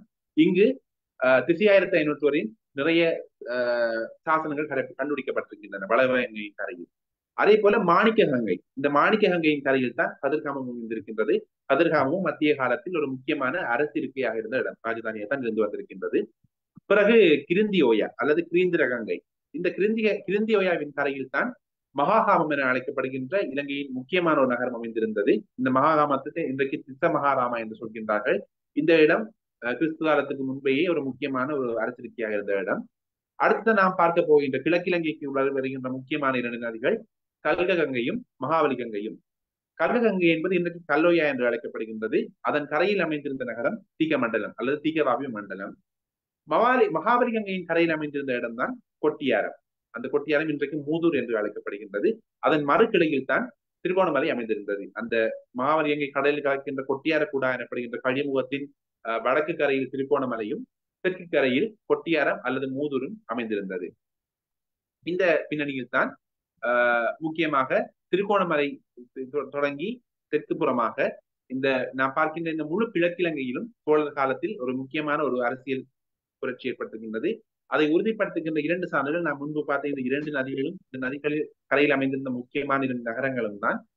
கல்லோயா அல்லது கல்ககங்கையின் கரையில் அமைந்திருந்த தீக மண்டலம் அந்த காலத்தில் ஒரு முக்கியமான ஒரு வணிக மையமாகவும் ஒரு அரசியல் சதுரங்கமாகவும் இருந்தது என்பதற்கான சான்று மகாவம்சத்தில் காணப்படுகின்றது. ஒன்பதாம் நூற்றாண்டில் அதாவது சோழர்கள் படையெடுப்பதற்கு ஒரு எழுபது எண்பது ஆண்டுகளுக்கு முன்னர் ஆண்டு மகிந்தன் இரண்டாம் மகிந்தன் எனப்படுகின்ற மன்னனுக்கு ரோகணத்தை ஆண்ட தப்புலன் எனப்படுகின்ற ஒரு அரசனுக்கும் ஒரு முரண்பாடு ஏற்பட்டு விடுகின்றது மகிந்தன் அனுராதபுரத்தை ஆழ்கின்றான் தப்புலன் ரோகணத்தை ஆழ்கின்றான் இரண்டு பேருக்கும் முரண்பாடு ஏற்பட்டு விடுகின்றது அவன் மூன்று தடவை படையெடுத்தான் அனுராதபுரத்தை சீர்த்தான் என்று சொல்லப்படுகின்றது மகாவம்சத்தில். இந்த மகிந்தன் இறுதியில் பௌத்த பிக்குகளின் அறிவுரையை பெற்று தப்புலனோடு சமாதான உடன்படிக்கை மேற்கொள்கின்றார் அந்த சமாதான உடன்படிக்கையில் அனுராதபுரத்தின் தெற்கு எல்லையாகவும் ரோகணத்தின் வடக்கு எல்லையாகவும் கூறப்படுகின்ற நதி கல்ககங்கை இந்த கல்கங்கை சில இடங்களில் என்று கூறுகின்றார்கள். ஆனால் பேர் ஒற்றுமையை வைத்து பார்க்கின்ற பொழுது இது கல்லோயா என்றுதான் நாம் அறிந்து கொள்ளக்கூடியதாக இருக்கின்றது. இந்த கல்லோயாவின் வடபுறம் தனது ஆட்சி ரஜரட்டையை ஆண்ட அனுராதபுர அரசின் ஆதிக்கத்தின் கீழும் தென் பகுதி கப்புலின் ஆதிக்கத்தின் கீழும் இருப்பதாக மாவம்சத்தில் ஒரு உடன்படிக்கை ஒன்று குறிப்பிடப்பட்டிருக்கின்றது. இது கல்கங்கை அதன் கரையில் தீகவாகி தீகவாகி மண்டலம் எனப்படுகின்ற இடங்கள் எத்தனை முக்கியமான வரலாற்று முக்கியத்துவம் வாய்ந்த இடங்களாக இருந்தன என்பதற்கான சான்றுகளாக காணப்படுகிறது அதன் பின்னர் மகாவலிகங்கை மகாவலிகங்கையின் கரையில் இருந்த கொட்டியாரம் அந்த இடம் கூட சோழர் ஆட்சிக்கு முன்பும் பின்பும் ஒரு முக்கியமான இடமாக இருந்திருக்கின்றது. இந்த இடத்தில் இந்த கொட்டியாரம் எனப்படுகின்ற இடத்தில் மூன்று இன்றைக்கு கொட்டியாரம் என்பது கொட்டியார பற்று என்ற பெயரில் திருகோணமலையின் ஒரு நிர்வாக பிரிவாக கூட காணப்பட்டுக் கொண்டிருக்கின்றது இருந்தது. இப்பொழுது அந்த பெயர் மறைவிட்டது அந்த கொட்டியார பற்று எனப்படுகின்ற அந்த நிர்வாக பிரிவில் மூன்று இடங்களில் சிங்கள கல்வெட்டுகள் கண்டுபிடிக்கப்பட்டன. அதில் இரண்டு கல்வெட்டுகள் ஆஹ் மகாலிங்கயின் தான் கண்டுபிடிக்கப்பட்டிருக்கின்றன. அந்த ஒரு கல்வெட்டு கினிகம் கொத்தசார எனப்படுகின்ற ஒரு நிர்வாக பிரிவை குறிப்பிடுகின்றது. கினிகம் கொத்தசார என்ற இடத்தில் இருந்த ஒரு கிராமத்தை அரச அரசனின் ஒரு ஆணையின் கீழ் அங்கு வழங்குகின்ற சகல வரிகளையும் விளக்குகின்ற ஒரு ஆணை அந்த கல்வெட்டில் பொறிக்கப்பட்டிருக்கின்றது. அதே போல இன்னொரு அரசு ஆணை பொறிக்கப்பட்டிருக்கின்ற கல்வெட்டு மெடியத்துகிணறு கொட்டிய கொத்தசார எனப்படுகின்ற இன்னொரு பெயரை குறிப்பிடுகின்றது. மூன்றாவதாக இது பத்தாம் நூற்றாண்டில் கிடைக்கின்ற இரண்டு சிங்கள கல்வெட்டுகள். பன்னெண்டாம் நூற்றாண்டில் பொறிக்கப்பட்ட ஒரு சிங்கள செப்பேட்டில் மாப்பிசம்பி கொத்துசார் எனப்படுகின்ற மூன்றாவது ஒரு கொட்டியாருக்கும் பெயர் குறிப்பிடப்பட்டிருக்கின்றது. இந்த மூன்று பேர்களும் நாம் உண்மை கவனிக்க வேண்டிய விடயம் என்னவென்று சொன்னால் இந்த மூன்றில் இரண்டு கொத்தசார பிரிவுகளின் பெயர்கள் ராஜராஜ சோழனின் தஞ்சை கல்வெட்டில் குறிப்பிடப்பட்டிருக்கின்றது என்பது முக்கியமான ஒரு விடயம். இந்த படத்தில் நாம் காணக்கூடியதாக இருக்கும். இது ஒரு உத்தேச வரைபடம் தான் இது திருத்தமான வரைபடம் அல்ல. இந்த மாப்பிசம்பு கொட்டியிடம் மெடியதுகின்ற கொத்தசாரம் கிணிகம் கொத்தசாரம் எனப்படுகின்ற இந்த இடங்கள் எந்தெந்த இடத்தில் அமைந்திருக்கலாம் என்பது திருகோணமலை மாவட்டத்தின் தெற்கு பகுதியில் அதாவது கொட்டியாரப்பற்று பகுதியில் குறிப்பிடப்பட்டிருக்கின்றது. இன்றைக்கு கொட்டியாரப்பற்று மூன்று நிர்வாக பிரிவுகளாக பிரிக்கப்பட்டிருக்கின்றது. மூதூர் சேருவில வெறுகல் என்று சொல்லி. அந்த மூன்றையும் கிட்டத்தட்ட ஓரளவு மேற்பொருந்தும் அளவில் தான் இந்த மூன்று இடங்கள் அமைந்திருப்பதை நாம் காணக்கூடியதாக இருக்கும்.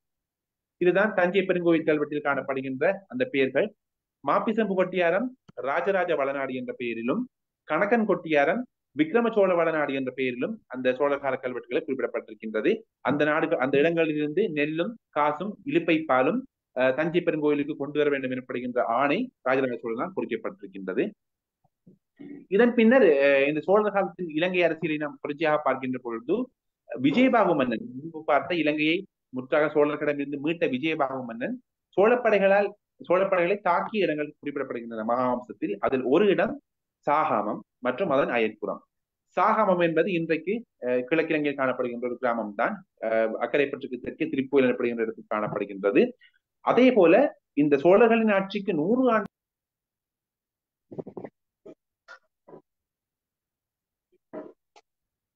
தீகவாவி மண்டலம் எனப்படுகின்ற இடத்தில் இருந்த பல ஊர்கள் அவனால் கிளர்ச்சியிருந்து அடக்கப்படுகின்றன. அவ்வாறு அடக்கப்பட்ட ஊர்களில் கூட சாகாமம் மல்வத்தை அதாவது அந்த காலத்தில் மாலவத்துக்கம் என்று அழைக்கப்பட்டது. இந்த பெயர்கள் குறிப்பிடப்பட்டிருக்கின்றன. எனவே தீகபாவி மண்டல ஊர்கள் மிக முக்கியமான வணிக மையங்கள் அல்லது அரசியல் சதுரங்கத்தில் முக்கியமான இடங்களாக காணப்பட்டிருக்கின்றன என்பது இந்த மகாவம்ச குறிப்புகள் மூலம் நம்மால் அறிந்து கொள்ளக்கூடியதாக இருக்கின்றது. இதெல்லாம் கிழக்கிழங்கைக்குள் வருகின்ற இடங்கள்.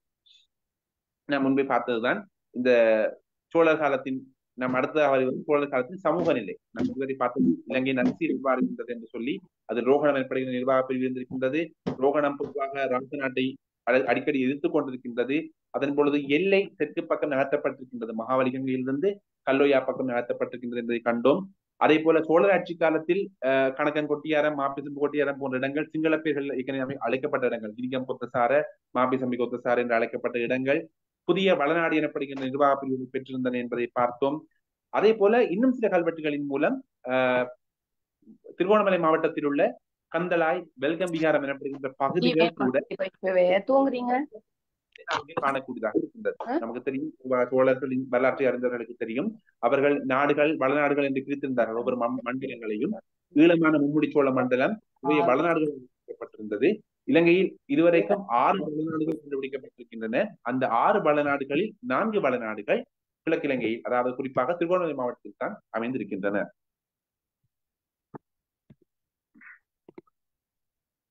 இனி சோழர் காலத்தின் சமய நிலையை பார்க்க சமூக நிலையை பார்க்கின்ற பொழுது இங்கு மூன்று சமயங்கள் அப்பொழுது மக்கள் நிதிகளாக காணப்பட்டிருக்கின்றன. பௌத்தம் சைவம் வைதிகம். நான்காவது வைணவம் காணப்பட்டிருக்கின்றது இலங்கையின் ஏனைய இடங்களில். கிழக்கிலங்கையில் வைணவம் காணப்பட்டதற்கான சான்றுகள் இல்லை. இதில் பௌத்தம் காணப்பட்ட சா பௌத்தத்துக்கு சோழர்கள் எத்தனை ஆதரவு தெரிவித்தார்கள் என்ற தகவல் கிடைக்கின்ற இடம் வெல்கவேரம் இன்றைக்கும் திருவண்ணாமலை மாவட்டத்தில் இடிபாடுகளாக காணப்படுகின்றது. இன்றைக்கும் சிங்களத்தில் வெல்கம்பேகர் என்று சொல்கின்றார்கள். அது அந்த காலத்தில் ராஜராஜ பெரும்பள்ளி என்று அழைக்கப்பட்டது. இந்த இடத்தில் ராஜேந்திர சோழனின் பல கல்வெட்டுகள் கிடைத்திருக்கின்றன. இங்கு இந்த கல்வெட்டுகளை காணலாம். இன்றைக்கு கூட இந்த கல்வெட்டுகள் இங்கு காணப்படுகின்றன. இந்த கல்வெட்டில் சிவப்பன்றத்தில் பட்டிக்குள் காட்டப்பட்டிருப்பது ராஜராஜ எனப்படுகின்ற ராஜராஜ பெரும்பள்ளி எனப்படுகின்ற சொல். அதே போல பச்சை நிறத்தில் போடப்பட்டிருப்பது ஸ்ரீ ராஜேந்திர சோழ ஸ்ரீ ராஜேந்திர சோழ தேவர்த்தி எனப்படுகின்ற சொல். ஆகவே இந்த ராஜேந்திர சோழன் காலத்தில் பொறிக்கப்பட்ட இரண்டு கல்வெட்டுகள். இந்த ராஜராஜ பெரும்பள்ளியில் கண்டுபிடிக்கப்பட்டதன் மூலம் அந்த காலத்தில் இந்த இடம் எத்தனை முக்கியமான ஒரு இடமாக காணப்பட்டிருக்கின்றது. அதே போல ராஜ சோழர்களின் சமூக சமய பணியை பெற்றிருக்கின்றது என்பதை காணக்கூடியதாக இருக்கின்றது. இது இன்னொரு கல்வெட்டு. இந்த கல்வெட்டில் கூட வெல்க வேரமான ராஜராஜ பெரும்பள்ளி எனப்படுகின்ற சொல் தான் இங்கு அடிக்கோடப்பட்டிருக்கின்றது. அந்த காலத்தில் குறிப்பாக ராஜேந்திர சோழனின் காலத்தில் பௌத்த சமயத்துக்கு எத்தனை முக்கியத்துவம் வழங்கப்பட்டது என்பதற்கான சான்றாக இன்றைக்கும் தலைமை நிற்கின்றது இந்த ராஜராஜ பெரும்பலியில் உள்ள தமிழ் இடிபாடுகள் இனி சைவத்தின் பக்கம் வந்தோம் என்று சொன்னால் சைவம் சோழர்களின் முதன்மையான அரசு நெறி தொள்ளாயிரத்தி தொண்ணூத்தி மூன்றாம் ஆண்டுதான் ராஜராஜ சோழன் இலங்கை மீது படையெடுத்தான் என்கின்ற கருத்து இலங்கை ஆசிரியர்களிடம் காணப்படுகின்றது. ஆனால் அதைவிட பழைய கல்வெட்டுகள் கோணேஸ்வரத்திலும் திலாவளி எனப்படுகின்ற இடத்திலும் திருவண்ணாமலை மாவட்டத்தில் கண்டெடுக்கப்பட்டிருக்கின்றன. அதே போல கோமரம் கடவை எனப்படுகின்ற இடத்திலும் கூட ராஜராஜ சோழனுடைய கல்வெட்டு கிடைத்திருக்கின்றது அதுவும் ஒரு சிவாலய வளாகத்தில் தான் கண்டெடுக்கப்பட்டது. திருகோணமலை காளி கோவிலிலும் ஒரு ராஜேந்திர சோழன் கல்வெட்டு கண்டுபிடிக்கப்பட்டிருக்கின்றது. திருமங்கலா எனப்படுகின்ற இடத்தில் கண்டுபிடிக்கப்பட்ட கல்வெட்டுகளில் பதினோராம் நூற்றாண்டு எழுத்தமைதியில் எழுதப்பட்ட திருவெண்ணை கூற்றன் சிற்றம்பலமுடியான் போன்ற பெயர்கள் காணப்படுகின்றன. இவற்றுக்கெல்லாம் மேலதிகமா இவையெல்லாம் காணப்படுவது திருவண்ணாமலை மாவட்டத்தில் மட்டக்களப்பு மாவட்டத்தில் மட்டக்களப்பு கோட்டை அமைந்திருந்த ஒல்லாந்து டச்சு கோட்டை அமைந்திருந்த இடத்தில் ஒரு சோழர் கல்வெட்டு கண்டுபிடிக்கப்பட்டது மிக அண்மை காலத்தில். அந்த கல்வெட்டில் தட்சிணாமூர்த்தி எனப்படுகின்ற ஒரு சொல் மட்டும் தான் வாசிக்கப்பட்டிருக்கின்றது. அந்த கல்வெட்டு முழுமையாக சிதைந்து விட்டது. எனினும் அந்த சொல்லின் எழுத்தை வைத்துக் கொண்டு அது பதினேழாம் நூற்றாண்டு கல்வெட்டு என்று பேராசிரியர் சி. பத்மநாதன் கண்டுபிடித்திருக்கின்றார். இப்படி மட்டக்களப்பு கோட்டையில் கூட சோழர்களின் கல்வெட்டு காணப்பட்டது என்பது முக்கியமான ஒரு தகவல். இனி வைதிக சமயத்தை எடுத்துக்கொண்டோம் என்று சொன்னால் வைதிக பிராமணர்கள் கந்தலாயில் ராஜராஜ சதுர்வேதி மங்கலத்து பிரமதயம் எனப்படுகின்ற ஒரு ஒரு பிரமதயம் அமைக்கப்பட்டு ஒரு பிராமண குடியிருப்பு அமை அமைக்கப்பட்டு அங்கு அமர்த்தப்பட்டிருந்தார்கள் என்ற தகவல் ஒரு கல்வெட்டில் காணப்படுகின்றது. அதுவும் தமிழ் கல்வெட்டு தான். அந்த கல்வெட்டு கூட இன்றைக்கு பேணப்பட்டு வருகின்றது. ஆகவே இந்த மூன்று சமயங்கள் சைவம் வைதிகம் பௌத்தம் எனப்படுகிற மூன்று சமயங்கள் அக்கால கிழக்கிழங்கையில் முக்கியமான சமூக மக்களால் கடைபிடிக்கப்பட்டு வந்தன என்ற தகவலை இங்கு நாம் பெற்றுக்கொள்ளக்கூடியதாக இருக்கின்றது. இனி நாம் முக்கியமான இறுதி பகுதிக்கு வந்திருக்கின்றோம். தெற்கு எல்லையும் வரலாற்று வகிப்பாகமும். இந்த தெற்கு எல்லையை ஏன் நாம் பார்க்க வேண்டி வருகின்றது என்று சொன்னால் இலங்கையின் என்னதான் சோழ மன்னர்கள் ஈழ முழுவதும் கொண்ட என்று கல்வெட்டுகளில் பெருமை உயர்த்திக் கொண்டிருந்தாலும் நிலவை அவ்வாறு அல்ல என்றுதான் மகாவம்சம் கூறுகின்றது. மகாவம்சம் மீண்டும் மீண்டும் சொல்வது ரோகண நாடு இயன்ற வரைக்கும் புரட்சி செய்து கொண்டிருந்தது இயன்ற வரைக்கும் தன்னாட்சி அதிகாரத்தை தான் வைத்திருந்தது என்பது மகாவம்சம் கூறிக்கொண்டிருக்கின்றது. எனவே இலங்கையை முழுவதும் சோழர்கள் ஆண்டார்கள் என்பதற்கான இறுக்கமான தீர்க்கமான தரவுகள் நம்மசம் இல்லை. எனவே இந்த தெற்கு எல்லை அதாவது ரோகணத்துக்குள் எந்த எல்லை வரைக்கும் சோழர்களின் ஆதிக்கம் நிலவியது என்பதை கண்டறிவது அவசியம். மகாவம்சத்தில் ஒரு குறிப்பு காணப்படுகின்றது. ரக்கபாசான கந்த எனப்படுகின்ற இடம்தான் சோழர்களின் தெற்கு எல்லையாக இருந்தது. ரக்கபாசான கந்த என்பது சிங்களத்தில் மலை. எனவே ரக்கபாசான கந்த எனப்படுகின்ற ஒரு மலைதான் தெற்கு எல்லையாக இருந்தது என்று காணப்படுகின்றது. இன்னொரு இடத்தில் நான் முன்பே பார்த்தது போல விஜயபாகு மன்னனால் சோழர்களின் படைகள் தாக்கப்பட்ட முகாம்களில் ஒன்று இருந்த இடம் சாகமம். அந்த சாகமமும் நம்ம முன்பே பார்த்த அம்பாறை மாவட்டத்தின் நடுப்பகுதியில் அமைந்திருக்கின்ற ஒரு கிராமம் தான்.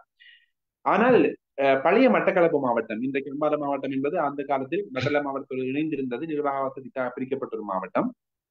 இந்த மட்டக்களப்பு மாவட்டத்தின் பழைய தெற்கு எல்லையாக சொல்லப்படுவது சங்கமன் கண்டி எனப்படுகின்ற ஒரு மலை. இந்த மலையின் பிற்பகுதியில் இன்றைக்கு நிறைய இடிபாடுகள் கண்டுபிடிக்கப்பட்டுக் கொண்டிருக்கின்றன. கிறிஸ்து காலத்துக்கு முற்பட்டவை உட்பட நிறைய தொல்லியல் இடிபாடுகள் சின்னங்கள் காட்டுக்குள் மறைந்திருக்கின்றன. இந்த சங்கமன்கண்டி மலைதான் இந்த மகாபுரத்தில் சொல்லப்படுகின்ற ரக்கபாசான கந்த மலையா என்பது தொடர்ச்சியான ஆய்வுகளின் தான் நிறுவப்பட வேண்டும். ஆனால் இதை இப்பொழுதைக்கு ஒரு ஊகமாக வைத்துக் கொள்ளலாம். இந்த மட்டக்களப்பு மாவட்டத்தின் பழைய தென்னிலை தான் சோழர்களின் அதிக அதிபட்ச அதிக தெற்கு எல்லையாகவும் நாம் இங்கு ஊகித்துக் கொள்ளக்கூடியதாக இருக்கின்றது. அதற்கான காரணம் இந்த சாகமம் பற்றிய ஒரு முக்கியமான ஒரு குறிப்பு. அதுதான் இலங்கையின் இன்றைய கிழக்கு முனை இலங்கையின் நீளம் அளக்கின்ற பொழுது கொழும்பு முனையிலிருந்து சங்கமன் கண்டி முனிவரையும் தான் அழைப்பார்கள் அந்த படத்தை தான் புகைப்படத்தை தான் பார்த்துக் கொண்டிருக்கின்றீர்கள். இலங்கையின் கிழக்கு முனை ஈஸ்டர்ன் பாயிண்ட் ஆஃப் ஸ்ரீலங்கா என்று குறிப்பிடப்பட்டிருக்கின்றது. இந்த தெற்கு எல்லைக்கு மிக அருகில் தான் ஒரு முக்கியமான அதாவது மட்டக்களப்பு அல்லது கிழக்கிழங்கை சார்ந்த தொன்மங்களில் அதிகம் சொல்லப்படுகின்ற திருக்கோவில் ஆலயம் காணப்படுகின்றது. அந்த திருக்கோவில் பற்றிய மகாவம்ச மன்னிக்கவும் மட்டக்களப்பில் சில குறிப்புகள் காணப்படுகின்றன. மட்டக்களப்பு பூர சரித்திரம் என்ற பெயரில். அந்த குறிப்புகளில் சொல்லப்படுகின்ற விடயம் திருச்சோழராசன் எனப்படுகின்ற ஒரு அரசனின் மருமகனால் தான் இந்த கோயில் இந்த கோயில் அமைக்கப்பட்டது என்ற தகவல் காணப்படுகின்றது. இந்த திருச்சோழராசன் யார் என்று தெரியாது. ஆனால் அவரது மகன் ஆஹ் புவனேய கயபாகு மருமகன் புவனேய கயபாகு என்ற தகவல் அந்த மட்டக்களப்பு பூர எனப்படுகின்ற ஒரு தொகுப்பு நூலில் காணப்படுகின்றது. இதை நாம் இவ்வாறு புரிந்து கொள்வது என்று சொன்னால் அந்த கோயில் இன்றைக்கும் மிக பழமையான ஒரு கோயில். கட்டுமானம் அத்தனையும் இலங்கை வரலாற்று ஆய்வாளர்கள் உட்பட பதிமூன்றாம் நூற்றாண்டு சோழ பாண்டிய கலைப்பாணிக்கு முற்பட்டது என்றுதான் கூறுகின்றார்கள். இந்த கட்டிட கலைப்பாணியை ஒரு மிக பழமை வாய்ந்த ஒரு ஆலயம்.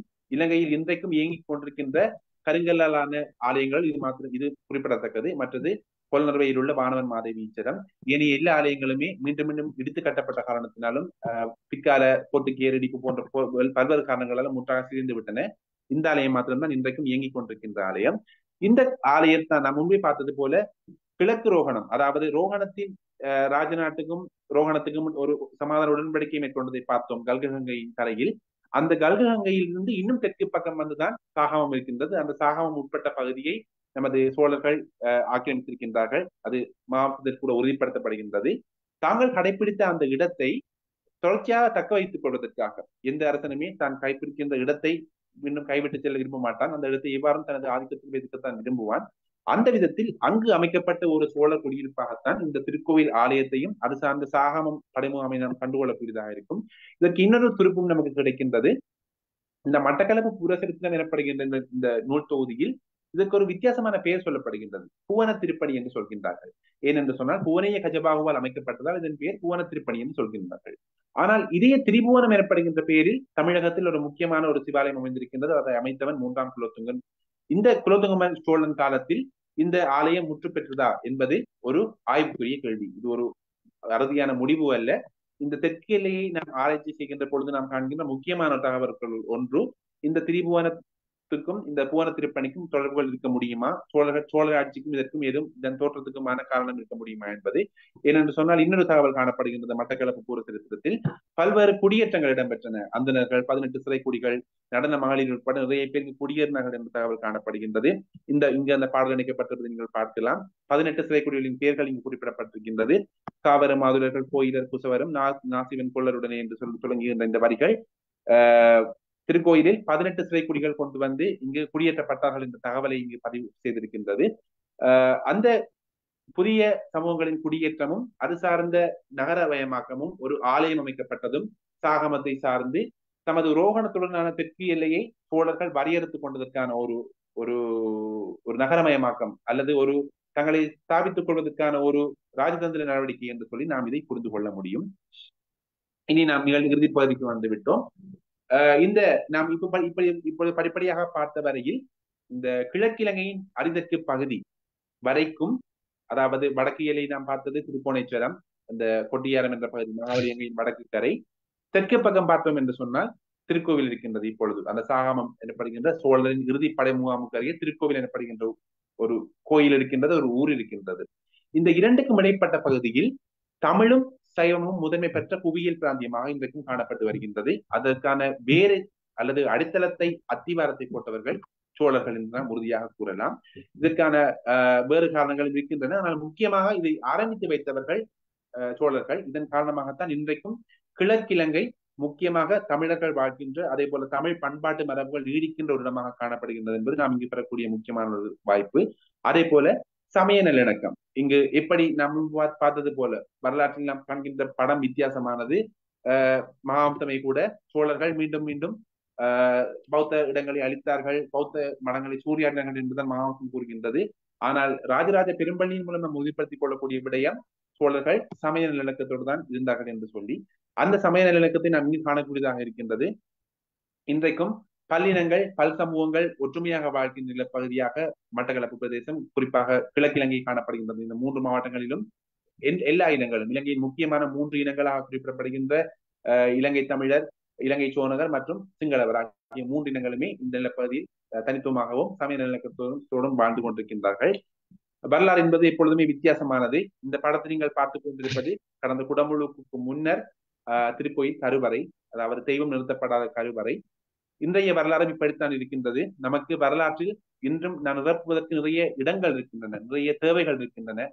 நிறைய ஆய்வுகள் செய்ய வேண்டியதாக இருக்கின்றது. ஆனால் அதுவரைக்கும் வரலாறு தன்னை முழுமையாக மறைத்துக் கொள்வதில்லை.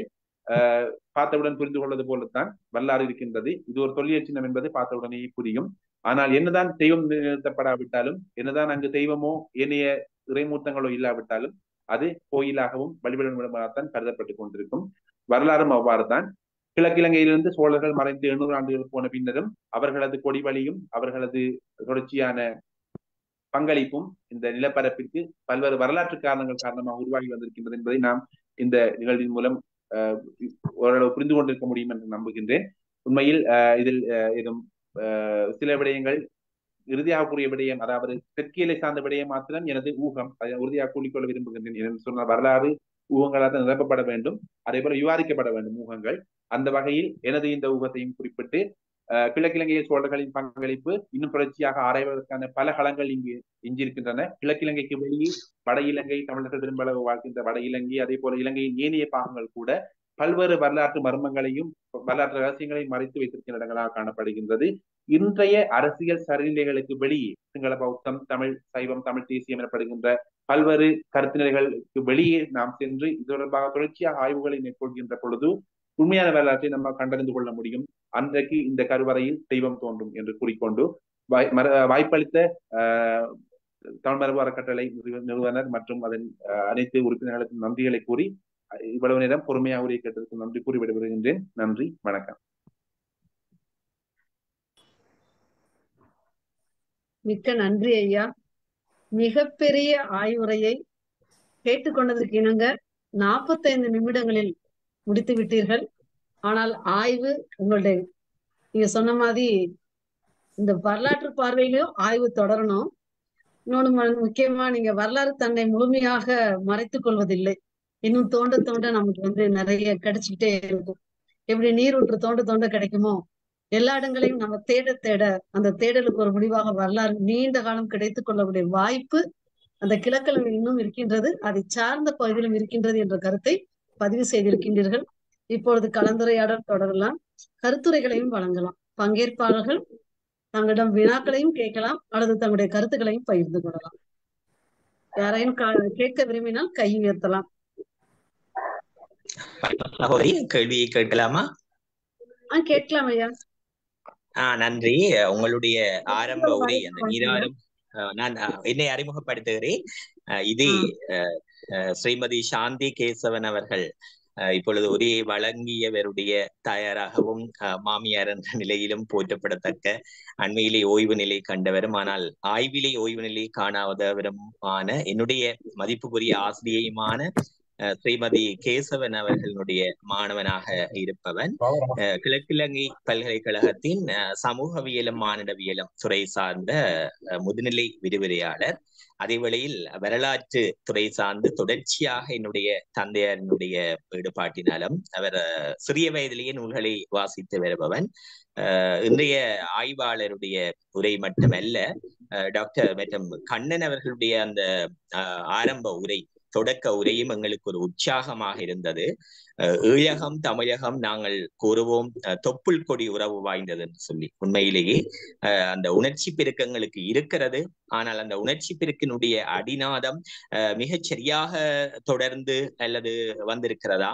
அதனுடைய தாரதமியங்கள் எல்லாவற்றையும் நாங்கள் இப்பொழுது விட்டுவிட்டு ஆய்வை மட்டும் அடிச்சுவடாக கொண்டு தொடர்வோம். அந்த நிலை நின்று சிந்திக்கும் பொழுதோ தமிழினி மாநாட்டு கட்டுரை தொகுப்பை நான் நேற்று கூட வாசிக்க முடிந்தது என்று சொல்லி கண்ணன் ஐயா அவர்களுக்கு கூறுகின்றேன். பத்மநாயபன் ஐயா அவர்களோடும் கூட நமக்கு நல்ல தொடர்புண்டு அவர் வந்து பல்கலைக்கழகத்திற்கு அடிக்கடி விஜயம் செய்வதுண்டு. இந்த தகவல்களோடு அன்பர் துலாஞ்சனனுடைய துறை மற்றும் அவருடைய பணி வேறுபாடாக இருந்தாலும் அவர் பிறந்து வளர்ந்த கிராமம் மற்றும் குடும்ப நிலை அவருடைய பாட்டனார் முதற்கொண்டு இருந்து வருகின்ற அந்த தொடர்புகள் நாங்கள் சொல்லுவோம் பௌத்தத்தில் கூறுவது போல அந்த கர்மாவினுடைய தொடர்ச்சி நல்ல கர்மா எப்பொழுதும் எங்களுக்கு நல்ல அறிவு நல்ல புலமையை சுவரச் செய்யும் என்பது என்னுடைய நம்பிக்கை. அப்படியாகத்தான் நான் அவரை நன்கு அறிந்து புரிந்து வைத்திருக்கிறேன். அவருடைய நூல் வெளியீடுகள் பலவற்றிலும் கலந்து கொண்ட நிறைவு இருக்கிறது. அதை வாசித்து பயன்பெற்றவர் என்ற வகையில் மிகச் சுருக்கமாக இனியவர்களும் காத்திருக்கின்ற நிலையில் அஹ் இன்றைய உரை உண்மையிலேயே வந்து ஒரு புதிய எல்லைகளை தொட்டது என்றுதான் கூற வேண்டும். குறிப்பாக அஹ் இந்த அனுரை அரியணையிலே இருந்த சில வித்- வித்தியாசமான விசித்திரமான போக்குகள் எனக்கு புதிய தகவல் ஆய்வாளன் என்ற வகையிலும் தீவிர வாசிப்பாளன் என்ற வகையிலும் அதற்கு அவருக்கு நிறைந்த பாராட்டு. அதே வேளையிலே நாங்கள் சமூகவியல் மானிடவியல் துறை சார்ந்தவன் என்ற நிலை நின்று சிந்திக்கும் பொழுது அஹ், அந்த டபு என்று கூறப்படுகிற அந்த குடும்ப நிலையிலேயே தகாப்புணர்ச்சி என்பது சில வேளைகளில் அதிகாரத்தை மையமிட்டதாக அமைகின்ற பொழுதோ அஹ், பிறாமகளை திருமணம் முடிப்பது ஒன்றுவிட்ட சகோதரியை மனம் செய்வது அஹ், சகோதரியின் மகளையை விவாகம் செய்வது என்று நாங்கள் பழங்குடி மக்கள் பழங்குடி சமுதாயத்தில் இடையே ஆரம்ப காலத்தில் நிலவிய அந்த அஹ், சிறிய அஹ், அரசாட்சி பாரிய மரபுக்கு வராத பரவலடையாத காலத்திலேயே வரலாற்றுக்கு முற்பட்ட நிலையிலே தான் நான் அறிந்திருக்கிறேன். ஆனால் ஈழகத்தின் இந்த தென்னிலங்கை சிங்களவர்கள் மத்தியிலேயே கூட அது இருந்திருக்கிறது என்பது ஆச்சரியமான செய்தி மட்டுமன்று.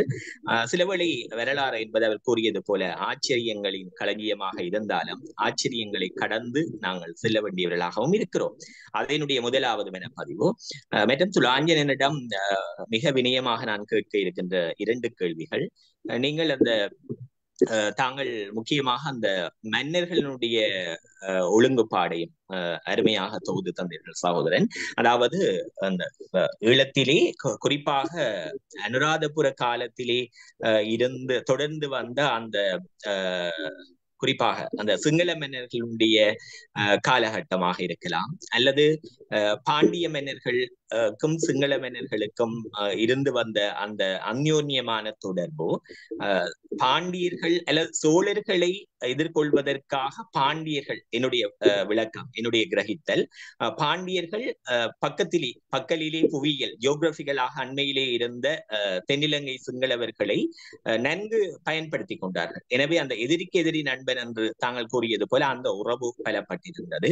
அதனூடாக இந்த முக்கூட்டு சங்கிலி தொடர்பிலே சங்கமத்திலே எழுந்த விளைவு மற்றும் அனுரையிலே இருந்து வந்த அந்த ஆட்சி அமைப்பிலே இருந்த குழப்பம் இவையெல்லாம் கூட எப்படி எவ்விதமாக இந்த அதிகாரத்தை இவர்கள் அஹ், சோழர்கள் இங்கே விரிவுபடுத்துவதற்கு விஸ்தாரணம் செய்வதற்கு வாய்ப்பாக அமைந்தது என்பதையும் நன்கு புரியக்கூடியதாக எனது சுருக்கமான கேள்வி இந்த தொடரையும் இந்த இந்த நிலைகளையும் அல்லது இந்த வரிசை கிரமங்களையும் தாங்கள் மூலாதாரமாக காட்டுவது நல்லது இல்லையா அதாவது சோஸ் ஒரு ஆய்வாளன் என்ற வகையிலே எங்கிருந்து பெற்றுக் கொண்டீர்கள் என்று வினயமாக கேட்டுக்கொள்கிறேன்.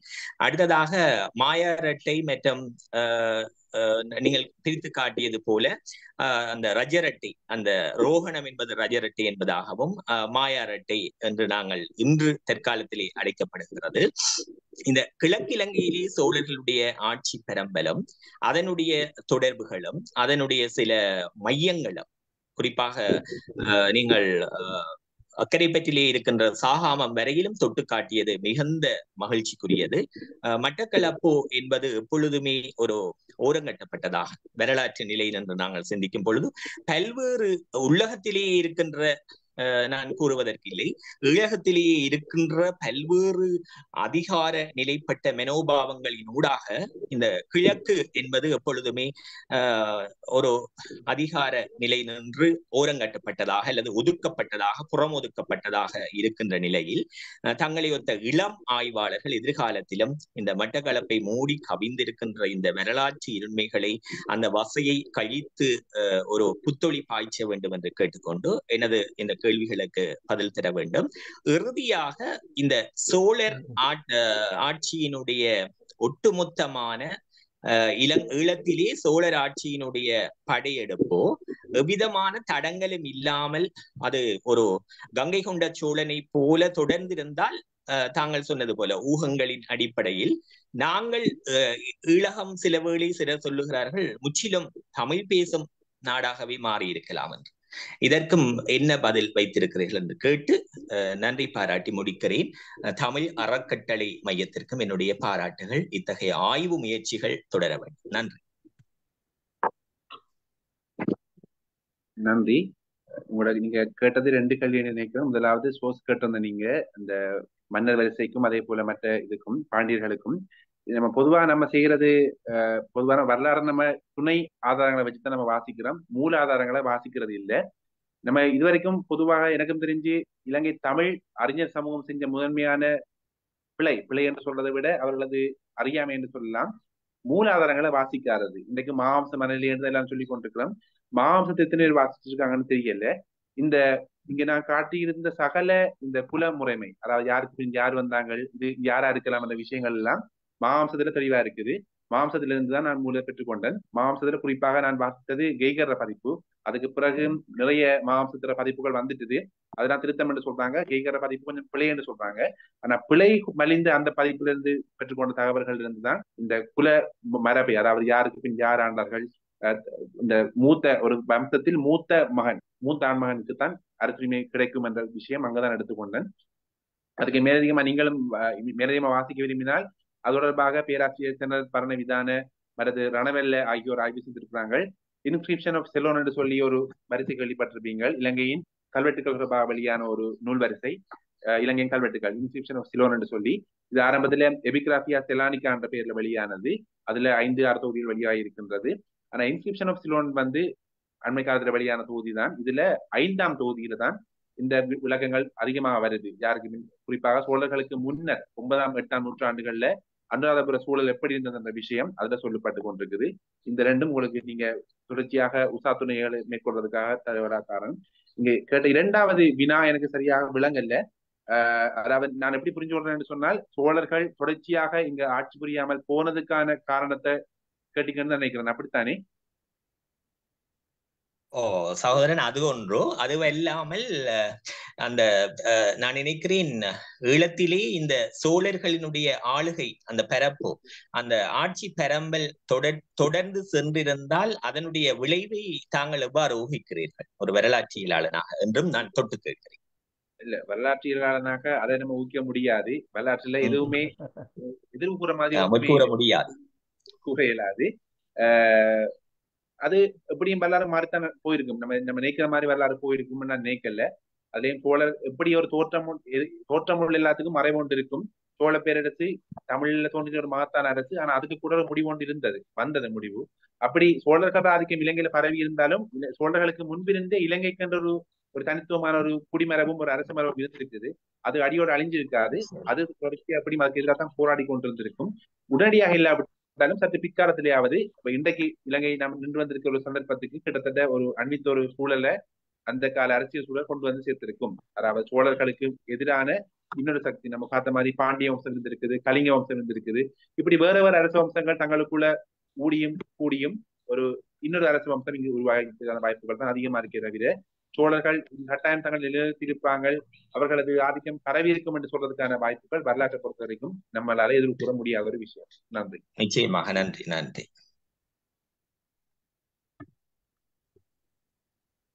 இதுல வந்து என்னுடைய ஒரு சிறிய கருத்து இருக்கு. ரொம்ப அருமையான கேள்வி அது அதாவது வந்து சோழருடைய ஆட்சி அங்கு தொடர்ந்திருந்தால் ஈழம் வந்து ஒரு அனது இன்னொரு தமிழ்நாடாக இருந்திருக்கும். தமிழகமாக இருந்திருக்கும் முழுக்க அப்படிங்கிறது ஒரு ஒரு விஷுவல் திங்கிங் அப்படி இருந்திருந்தா நல்லா இருக்கும் அப்படின்னு யோசிக்கிறது. ஆனா நம்ம சரித்திரத்தை ஐயா சொல்ற மாதிரி பிளானியன் சொல்ற மாதிரி சரித்திரம் எப்படி போகும்னு சொல்ல முடியாது. காரணமாக சோழர்களும் பாண்டியர்களும் போட்ட சண்டையில தான் வந்து சேரர்களை கவனிக்காமே விட்டாங்க அவங்க. ஸோ சேரநாடு என்று மிக அழகாக தமிழை வந்து ஆட்சி மொழியாக கொண்ட ஒரு அரசாட்சி வந்து முழுக்க முழுக்க கொஞ்சம் கொஞ்சமாக வந்து சமஸ்கிருதத்துடைய மேலா மேலாண்மை போய் கடைசியில அது வந்து மலையாளம் என்ற இன்னொரு மொழியாக பிரிந்து இன்று கேரளா அவர்கள் வந்து உண்மையில வந்து தமிழகத்தை குறிக்கும் பொழுது அவர்கள் பாண்டி பாண்டிம்பாங்க. பாண்டினா பாண்டி நாட்டுக்காரன் அதை ஒரு கேவலமா பார்க்கக்கூடிய ஒரு இன்றைக்கு இன்றைய சமகால அந்த அவருடைய கலந்துரையாடல பார்த்தீங்கன்னா பாண்டி அப்படின்னு சொன்னா அது ஒரு டிரோகட்சி அந்த மாதிரி ஒரு நிலைமை ஆகி போச்சு அப்போ வந்து இந்த தமிழகத்தினுடைய நிலப்பரப்பிலே இருக்கக்கூடிய ஒரு பகுதி சேரர்கள் என்று இருந்த சங்க காலத்தில் மிக அதிகமாக பேசப்பட்ட அந்த சேர அரசர்கள் அந்த பகுதியில கூட நம்மளுடைய ஒரு தமிழகத்தினுடைய ஆளுமையை வந்து செலுத்த முடியாத ஒரு சூழல் தான் ஆயிருக்கு. நான் வந்து இந்த கொரோனாக்கு முன்னாடி வந்து நம்ம இந்தோனேஷியாவுக்குள்ள சுமத்ராவில் நான் கொஞ்சம் பயணப்பட்டேன் அந்த சுமத்ரால பாத்தீங்கன்னா உண்மையில வந்து சோழர்களுடைய அது என்ன ஒரு ஒரு ஒரு ஆளுமை இருந்திருக்கு? ஒரு கடல் ஆளுமை அதை பற்றி நம்ம ரொம்ப அதிகமா பேசுவதே இல்லை உண்மையில. அதை நான் பேசப்பட வேண்டிய ஒன்று. நம்ம வந்து ஆங்கில நெல்சன் அது இதுன்னு அவனைத்தான் நம்ம வந்து பொழுது பேசிக்கொண்டிருக்கிறோமே தவிர ராஜேந்திர சேனல் காலத்துல வந்து எங்கெங்கெல்லாம் போயிருக்காங்கிறது நீங்க அங்க போனா வந்து சுமத்ராவை நான் தொடர்ந்து பயணப்பட்ட பொழுது எல்லா இடத்துலயும் வந்து நம்ம சோழனுடைய அல்லது தமிழர்களுடைய வந்து சுவடுகள் வந்து அறியக்கூடியதாக இருக்கின்றன. அதுவும் குறிப்பாக வந்து ஆட்சே அப்படின்னு ஒரு இடம் இருக்காங்க. அதுதான் வந்து அக்ஷயமுனை அப்படிம்பாங்க. அந்த அக்ஷயமுனைக்கு தான் அவங்க வந்திருக்காங்க.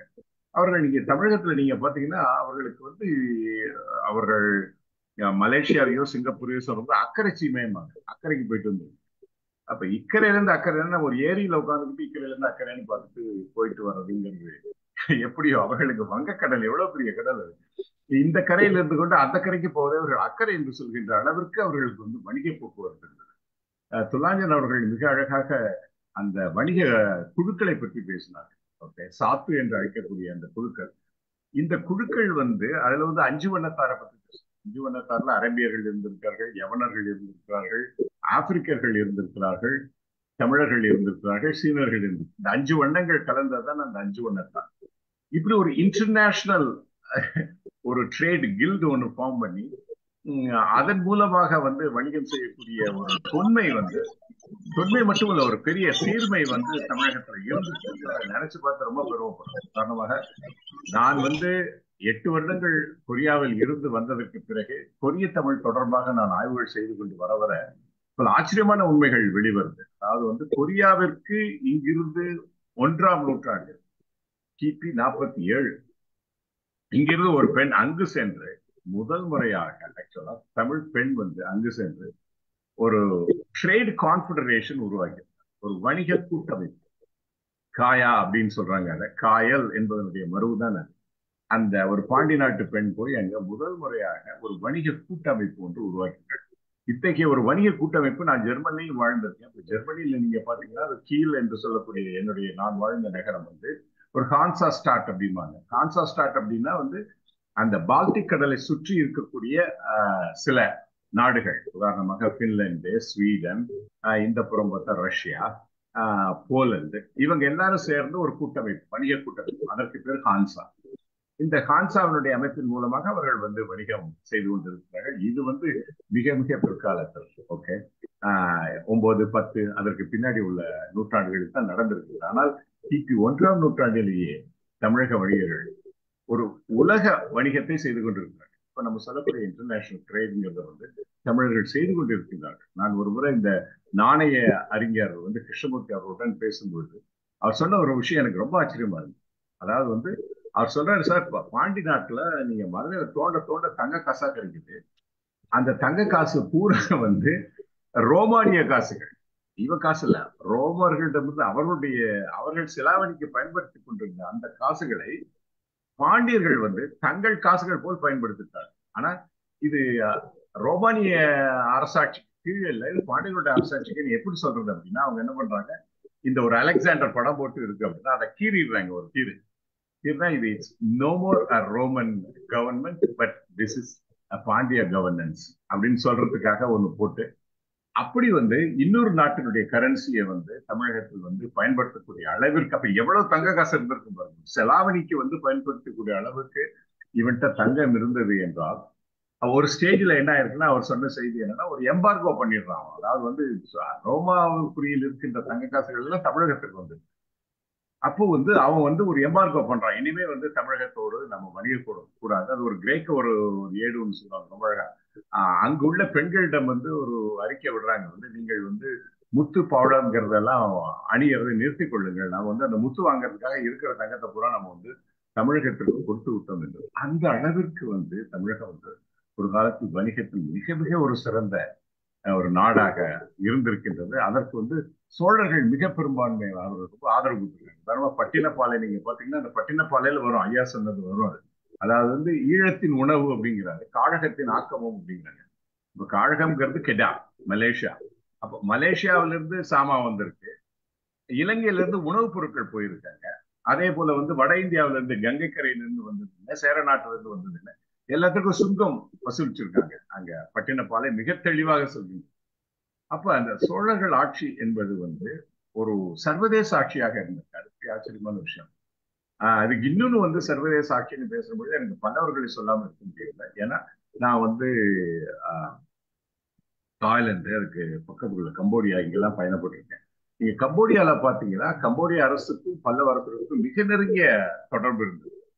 அப்ப அந்த தொடர்பின் காரணமாக அந்த பல்லவர்கள் வந்து உருவாக்கிய கிரந்தம் என்று சொல்லக்கூடிய அது ஒரு தமிழ் எழுத்துரு அது. அது வந்து வடமொழி அல்ல வடமொழியை பேசுவதற்கு சொல்வதற்காக உள்ள எழுத்துரு. இப்போ இலங்கைக்கு போனீங்கன்னா இப்போ கூட நீங்க பாத்தீங்கன்னா இலங்கையில் உள்ள சிவாச்சாரியர்கள் வந்து வடமொழி வேதத்தை வந்து அந்த இதெல்லாம் வந்து தமிழ் லிபி என்று சொல்வார்கள் பல்லவ கிரந்தத்துல தான் எழுதி வசிப்பாங்க அவங்களுக்கு வந்து தேவநாகரியில் எழுதினா தெரியாது அது என்னன்னு தெரியாது. அந்த அளவிற்கு பயன்பட்ட அந்த ஒரு கிரந்தம் என்ற எழுத்தை கம்போடியாவில் உள்ள கெமீர் அரசுக்கு வந்து அவர்கள் கொடுக்குறாங்க. அவங்க பேசக்கூடிய மொழி கெமீராக இருக்கலாம். ஆனால் எழுதுவது எழுத்து வந்து தமிழ் எழுத்து. பல்லவ கிரந்த எழுத்து. அந்த அளவிற்கு ஒரு சர்வதேச ஆளுமை என்பது தமிழ் மன்னர்கள் ஒரு காலத்தில் செய்திருக்கார்கள் என்பது நாம் மிக மிக பெருமைப்பட வேண்டிய ஒன்று. ஆனால் அதெல்லாம் அவங்க சொல்ற மாதிரி தோண்ட தோண்டத்தான் நமக்கு இந்த புதிய செய்திகள் வரும். இதை தொடர்ந்து நாம் வந்து ஆஹ் செய்ய வேண்டும். அதில் அதில் துலாஞ்சனுடைய இந்த செய்திகள் மிக முக்கியமாக இருக்கிறது. எப்படி மட்டக்களத்தில் கூட வந்து சோழர்களுடைய அந்த இருந்ததற்கான கல்வெட்டுகள் எல்லாம் இருக்கு அப்படிங்கிறது வந்து மிக முக்கியமான செய்தி அது. அவர்கள் எப்படி சுத்தி வந்தாங்களா எந்த வழியாக வந்தாங்கிறது ஆச்சு யாழ்ப்பாணம் அந்த வழியாக வந்து திருகோணமலை இப்படி வந்து மட்டக்களப்பு வந்தாங்கன்னா இல்ல வேற வழியாக இந்த புறமா வட தென் தெற்கரை வழியாக வந்தார்களா என்பதையெல்லாம் நாம் அறிந்து கொள்ள வேண்டியது மிக முக்கியம். இந்த கடற்பயண வழிகள்ங்கிறது உண்மையிலேயே ஒரு முக்கியமான ஒன்று. என்னதான் ஒரு டோக்கியோ பல்கலைக்கழகத்தின் பேராசிரியர் காம்பே அவர்கள் அவர்கள் வந்து என்னுடைய கொரிய ஆய்வை வந்து சென்னையில் ஒரு கருத்தரங்கில் கேட்டுவிட்டு அவர் உடனே ஓடி வந்து என்னை பார்த்தாரு. நீ சொல்றது ரொம்ப சரி. வந்து ஜப்பானினுடைய மிக தொன்மையான மிக தொன்மையான யாயோயி என்ற பிடிக்கும் தமிழுக்கும் தொடர்பு இருக்கிறது என்று சொன்னார். ஆக இங்கிருந்து நான் சொல்றது வந்து கிபி இது வந்து கிறிஸ்து பிறப்பதற்கு சில நூற்றாண்டுகள் முன்பாகவே இது நடந்தது. இங்கிருந்து கிளம்பிய இது எல்லாமே இந்த வணிகத்தின் மூலமாக தான் ஏன்னா அந்த வணிகர்கள் முதலில் போய் வந்து வழித்தடங்களை கண்டுபிடித்து விடுகிறார்கள் அந்த வழித்தடங்கள் கண்டுபிடிக்கப்பட்ட பின் வந்து இவர்கள் பயணப்பட்டு அரசாட்சியை நிறுவுகிறார்கள். அப்ப அப்படி பயணப்பட்ட குழுக்கள்ல ஒன்று மிக தொன்மையான ஒரு குழு வந்து யாயோகி இந்த யாயோகிங்கிறது தமிழகத்தினுடைய ஆய்க்குடி தான். இந்த ஆய்க்குடி மக்கள் போய் அங்க செட்டில் ஆயிருக்காங்க. இதை எப்படி நம்ம ப்ரூவ் பண்ணலாம்னா யாழ் யாழ் பல்கலைக்கழகத்தினுடைய இரண்டு பேராசிரியர்களுடைய அளப்பரிய ஒரு ஒரு பங்களிப்பு அப்படின்னு சொல்லணும். ஏன்னா பேராசிரியர் சண்முகதாஸ் மனோன்மணி சண்முகதாஸ்.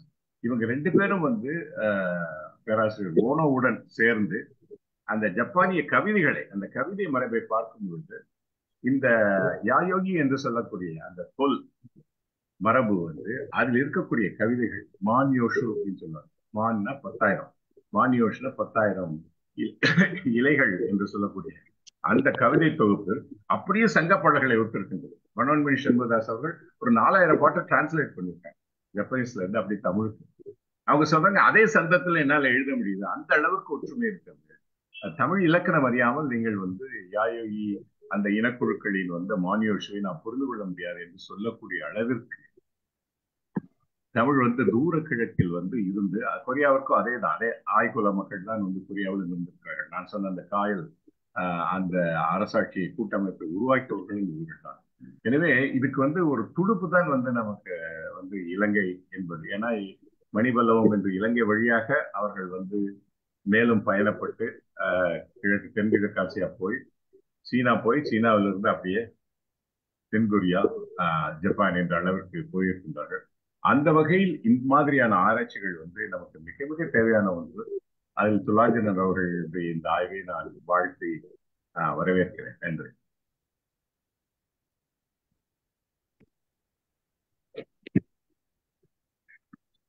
நன்றி ஐயா. நீங்க சொன்ன ஒரு விடயத்தை நான் செய்து கொள்ள விரும்புகிறேன் சோழர்கள் குறிப்பாக அதிகமா பயன்படுத்தின துறைமுகம் என்று சொல்றது மாதோட்டம். அதாவது அறிவியாற்றின் துறைமுகம் ஆகிய இன்றைய மாதோட்டம் கேரிச்சிரமம் இருந்திருக்குது அதே போல கோணேஸ்வரம் அமைந்திருக்கின்ற திருகோணமலையும் அவர்களது முக்கியமான துறைமுகமாக இருந்திருக்குது.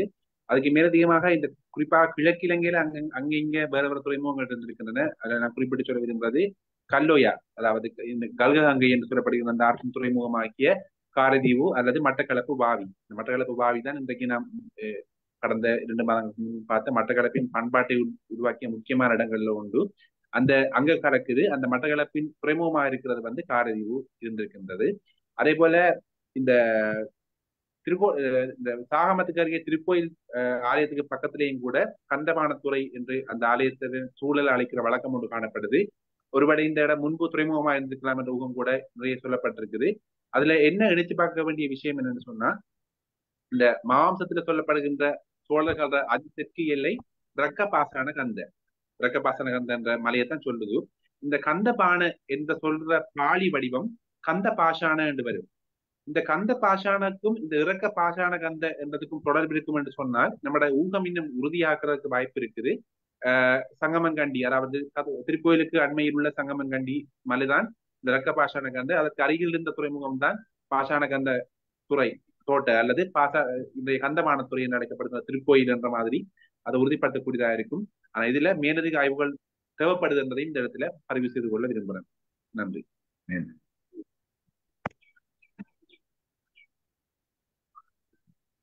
வேறு யாரும் வினாக்கள் இருந்தால் கேட்கலாம்.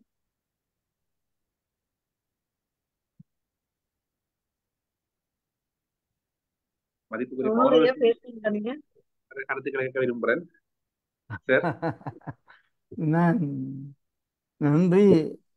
நான் மிக அவதானமாகத்தான் உங்களுடைய கருத்துக்களை கேட்டுக்கொண்டிருந்தேன். ஆஹ் பலர் பலவிதமான கருத்துக்களை இங்கு கூறினார்கள். நான் மூன்று விஷயங்களை இங்கு சொல்ல விரும்புகிறேன். ஒன்று அன்னைக்காலமாக துலாஞ்சனுடைய எழுத்துக்கள் இந்த இலங்கையின் வரலாற்றை தேடிச் செல்லுகின்றன. முக்கியமாக அவர் ஒரு கோட்பாட்டை நிறுவ முயல்கிறார். திருக்கோயில் எப்படி ஒரு முக்கிய நகரமாக எழுச்சி பெற்றது? அதுக்கான காரணம் திருக்கோயிலை வளர்ப்பதோ சமயத்தை வளர்ப்பதோ என்பதற்கும் அப்பால் உருகுணையிலிருந்து தென் இலங்கையிலிருந்து தங்களுக்கு வருகின்ற எதிர்ப்பை தடுக்கின்ற கோட்டையாக காப்பரனாக திருக்கோயிலை உருவாக்குவதுதான் சோழர்களுடைய அரசியல் தந்திரமாக இருந்தது என்பதை அவர் பல ஆராய்வு மூலமாக புலப்படுத்தி கொண்டு வருகிறார். இதை சிங்கள வரலாற்று ஆசிரியர்கள் சிலரும் கூறியிருக்கிறார்கள். அது ஒரு முக்கியமான ஒரு விஷயமாக எனக்கு படுகிறது. அதாவது புலனறுவை தான் முதலில் காப்பரன் அந்த ப- வராமல் இன்னும் கொஞ்சம் முன்னுக்கு வந்து திருக்கோயிலில் காப்பரனை அமைக்கிறார்கள். இப்ப சோழர்கள் தங்களுடைய அரசாட்சியையும் நலங்களையும் பாதுகாக்க அமைக்கப்பட்ட அரசியல் நடவடிக்கைகள் ஒன்றுதான் திருக்கோயிலை உருவாக்கி அங்கே ஒரு காப்பரனை உருவாக்கியது என்ற கருத்தை லாஞ்சன் அண்மை காலமாக தெரிவித்து வருகின்றார். அது ஒரு முக்கியமான வரலாற்று கருத்தாக எனக்கு படுகிறது. இட்ஸ் பொலிட்டிக்கல் மூமெண்ட் இது முக்கியமான விஷயம். இரண்டாவதாக அவர் திருவோணமலையை தான் அவர்கள் மையமாக கொண்டிருந்தார்கள் என்று கன விஷயங்களை சொல்லி வந்து அப்ப திருகோணமலை அவங்க தளப்பிரதேசமாக இருக்கின்ற அங்கேதான் சோழருடைய கடற்படை வந்து இறங்கி இருக்கிறது கடற்படைக்கான தளம் இருக்கிறது. அந்த தளத்தை வைத்துக்கொண்டு கிழக்கிழங்குக்குள் ஊடுருவி இருக்கிறார்கள் என்பது அவருக்கு ஊடாக தெரிய வருகிறது. மூன்றாவதாக அங்கிருந்து கொண்டு ஏனைய மாகாணங்களை கட்டுப்படுத்த முயன்றிருக்கிறார்கள். It's a political agenda of the சோழர்ஸ் சோழர் என்பவர்கள் யார்? என்றால் தமிழர்களை பொறுத்தவரையில் ஒரு மாவீரர்களாக கருதப்பட்டாலும் படையெடுத்த நாட்டை பொறுத்தவரையில் அவர்கள் அந்நியர்களும் எதிரிகளும் தங்களை அடக்க வந்தவர்களும் என்றுதான் பார்ப்பார்கள். வரலாற்றை நாங்கள் எப்படி பார்க்கின்றோம் என்பதை பொறுத்திருக்கிறது. வரலாற்றை சோழ பெருமிதமாக பார்க்கலாம். அல்லது வரலாற்றில் அந்நிய படையெடுப்பாக பார்க்கலாம். சிங்கள மக்கள் அப்படித்தான் பார்க்கின்றார்கள். அதேபோல் என்னுடைய ஒரு அடுத்த கேள்வி துவாஞ்சனிடம் உள்ளூர் மக்கள் சோ சோழ படையெடுப்பை எப்படி பார்த்திருப்பார்கள்? அதுக்கான ஆதாரங்கள் எதுவும் இருக்கின்றதா என்பதை பார்க்க வேண்டும். உள்ளூர்லேயே வாழ்ந்த பழங்குடிகள் உள்ளூர் தலைவர்கள் அவர்கள் எப்படி சோழ படையெடுப்பையும் சோழ ஆக்கிரமிப்பையும் அவர்கள் பார்த்திருப்பார்கள் என்பது அடுத்த கேள்வி. அதுக்கான ஆதாரங்கள் கலக்க இருக்கின்றன போல் பழகிறது சுலாஞ்சம் போன்றவர்கள் அதிலே கொஞ்சம் கவனம் செலுத்த வேண்டும் என்று நான் நினைக்கின்றேன். இப்போ முதலாவதாக என்னுடைய அவருடைய சிறப்பான அந்த ஆராய்ச்சி முறையை பாராட்டும் அதே வேளை அவர் எந்த பக்கம் கவனிக்க வேண்டும் என்பதையும் நான் ஒரு வழிப்படுத்தலாம் என்று யோசிக்கின்றேன். எனக்கும் இந்த ஆராய்ச்சி இந்த ஆய்விலே ஒரு அக்கறை உண்டு. ஏறத்தாழ தோழர்கள் நூற்றி ஐம்பது வருஷம் ஆண்டு இருக்கிறார்கள் ஒல்லா இப்படித்தான் வந்திருக்கிறார்கள் ஒல்லாந்தரும் அப்படித்தான் ஆண்டிருக்கிறார்கள் ஆங்கிலேயரும் கருத்தால் நூற்றி ஐம்பது வருஷத்துக்கு மேல் ஆண்டு இருக்கிறார். நூற்றி ஐம்பது வருஷம் நாலு ரெண்டு மூன்று தலைமுறை தாண்டிய விஷயம். வேற வெறும் இப்படி இருக்கவில்லை கிழக்கிழங்கையில். நாகர் இருந்திருக்கிறார்கள் ஆரம்பத்தில். பாண்டியர்களை பற்றி எனக்கு அவ்வளவு நான் வரலாற்றுத்துறை அவ்வளவு தாடனம் இல்லை. ஆனால் சொல்ல முடியாது எனக்கு. ஆனால் தோழர்களுடைய ஆட்சி நூற்றி ஐம்பது வருட காலம். நூற்றி ஐம்பது வருட காலம் புரட்டி போட்டிருக்கிறது கிழக்கிழங்கையில். கிழக்கிழங்கைய பண்பாட்டையே மாற்றி இருக்கிறது. அந்த மாற்றங்கள் என்ன? அந்த மாற்றங்களுக்கு ஈடு கொடுக்கின்ற வகையிலே உள்ளூர் குடிகள் எப்படி இருந்தார்கள்?